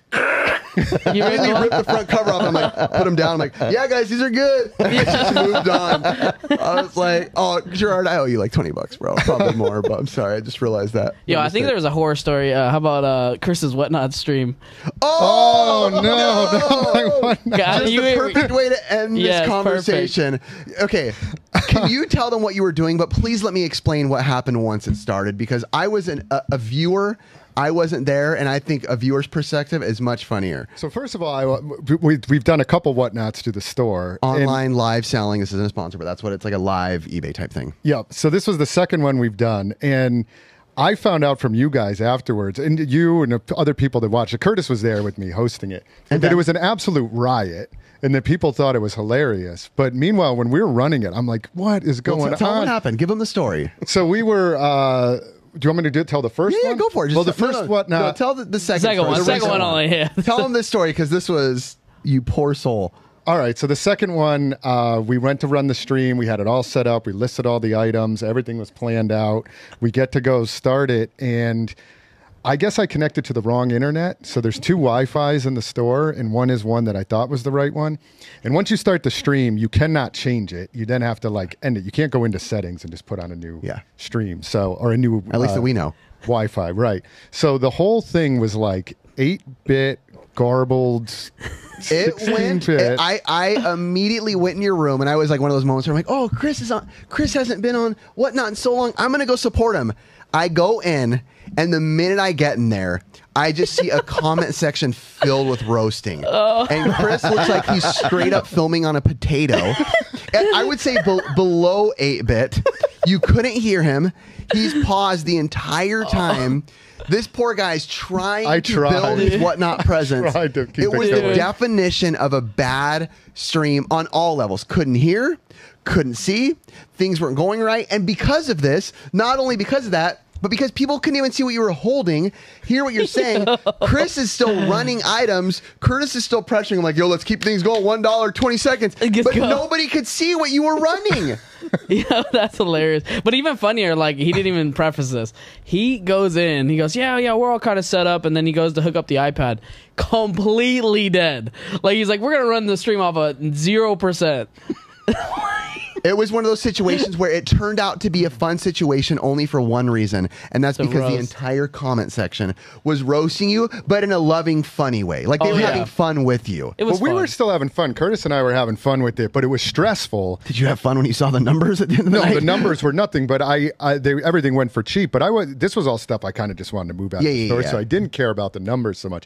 But I was just surprised when we ended it. Curtis and I were like, "Damn, that sucked!" Like I'm so disappointed. I was more disappointed that like people didn't get to view it and stuff like that. I'm like, "Dang, that sucks." You know, we put on like a bad show, and then I get like the text messages, "That was amazing, best show ever!" Like amazing, like it was so funny. Like it was so comical to watch that, and I was like. That was comical, and they were like, "Dude, we were dying laughing." You said you were dying But laughing. My will wife s- was watching it. But and what I she said she was dying laughing. That's part of entertainment, right? When things go wrong, think of like SNL skits back in the day where the character breaks and they start laughing when they're not supposed to laugh. Yeah. And it makes everybody else laugh. It was one of those situations where everything that could have gone wrong was going wrong. So I think it made the experience, it became entertainment at that point. Yeah. Right. You guys played along with it. So Oh, I yeah. think that helped it completely. I definitely took a, a word out of your textbook. Just keep the energy, and whatever it happens, Your happens. energy was amazing. Um, I, and- I could see it in your eyes, the, the little pixel that I could see. he was like, when, when Chris looks at the screen, he's like, yeah. but um, the first one we ran too, so which was maybe like a month or two months ago now. Yeah. Apparently, when I went to do it, I went in on my phone and then I went in on an iPad, and it was cross streamed. Did you even know you can do that? I, yes, I know you can. So they come in at two angles. So if you're and people get different views of what you're doing. So I would be reading comments. It was like, can you? I would be trying to show. We set up both No. cameras like this. So I'd be showing the item over here, and then there'd be messages. I can't see the item. Can you turn? You why are you not facing the camera? Because a lot of people would hop in and not know that it was cross streamed. You know, you know, like two of the most long-standing whatnot sellers who could help you with every bit. of what you're doing. I'm learning. I'm getting okay. so then I would have to go back and forth between both. That was two hours of doing that. That was really frustrating. That's bad. so now our thing is we're going to run just horrific whatnots. That's what we do. That's our Eight bit whatnots, bro. There might be something to that. I said I was going to turn the lights There off might be on the something next to that. one. We and that's a perfect way to close this one out. I'm gonna say thank you guys for all the support, and I Thank you just to to pricecharting.com. Yep. Thank you. Just mentioned with PriceCharting, they do have a mobile app coming out. So oh, in August. in? August. By the Yes. time this goes out, that will probably be out. So be on the lookout for PriceCharting app, which will be huge in my opinion. That is Oh, that yeah. is huge. yeah, I've been The waiting for that accessibility. for years. Because right now I have it saved on my phone as like you click it and it takes you right there on the website. But this is huge. Yeah. Thank you for sponsoring us, Yeah, price thank charting, you. for working with us. It really means the world to us. And like I said, job. all audio link description, uh, full episodes will be in the description of each video. And I just want to say thank you for the support again, guys. yes, thank, Thank you. you. Thank you. Yeah. Thank you, everybody. Yeah.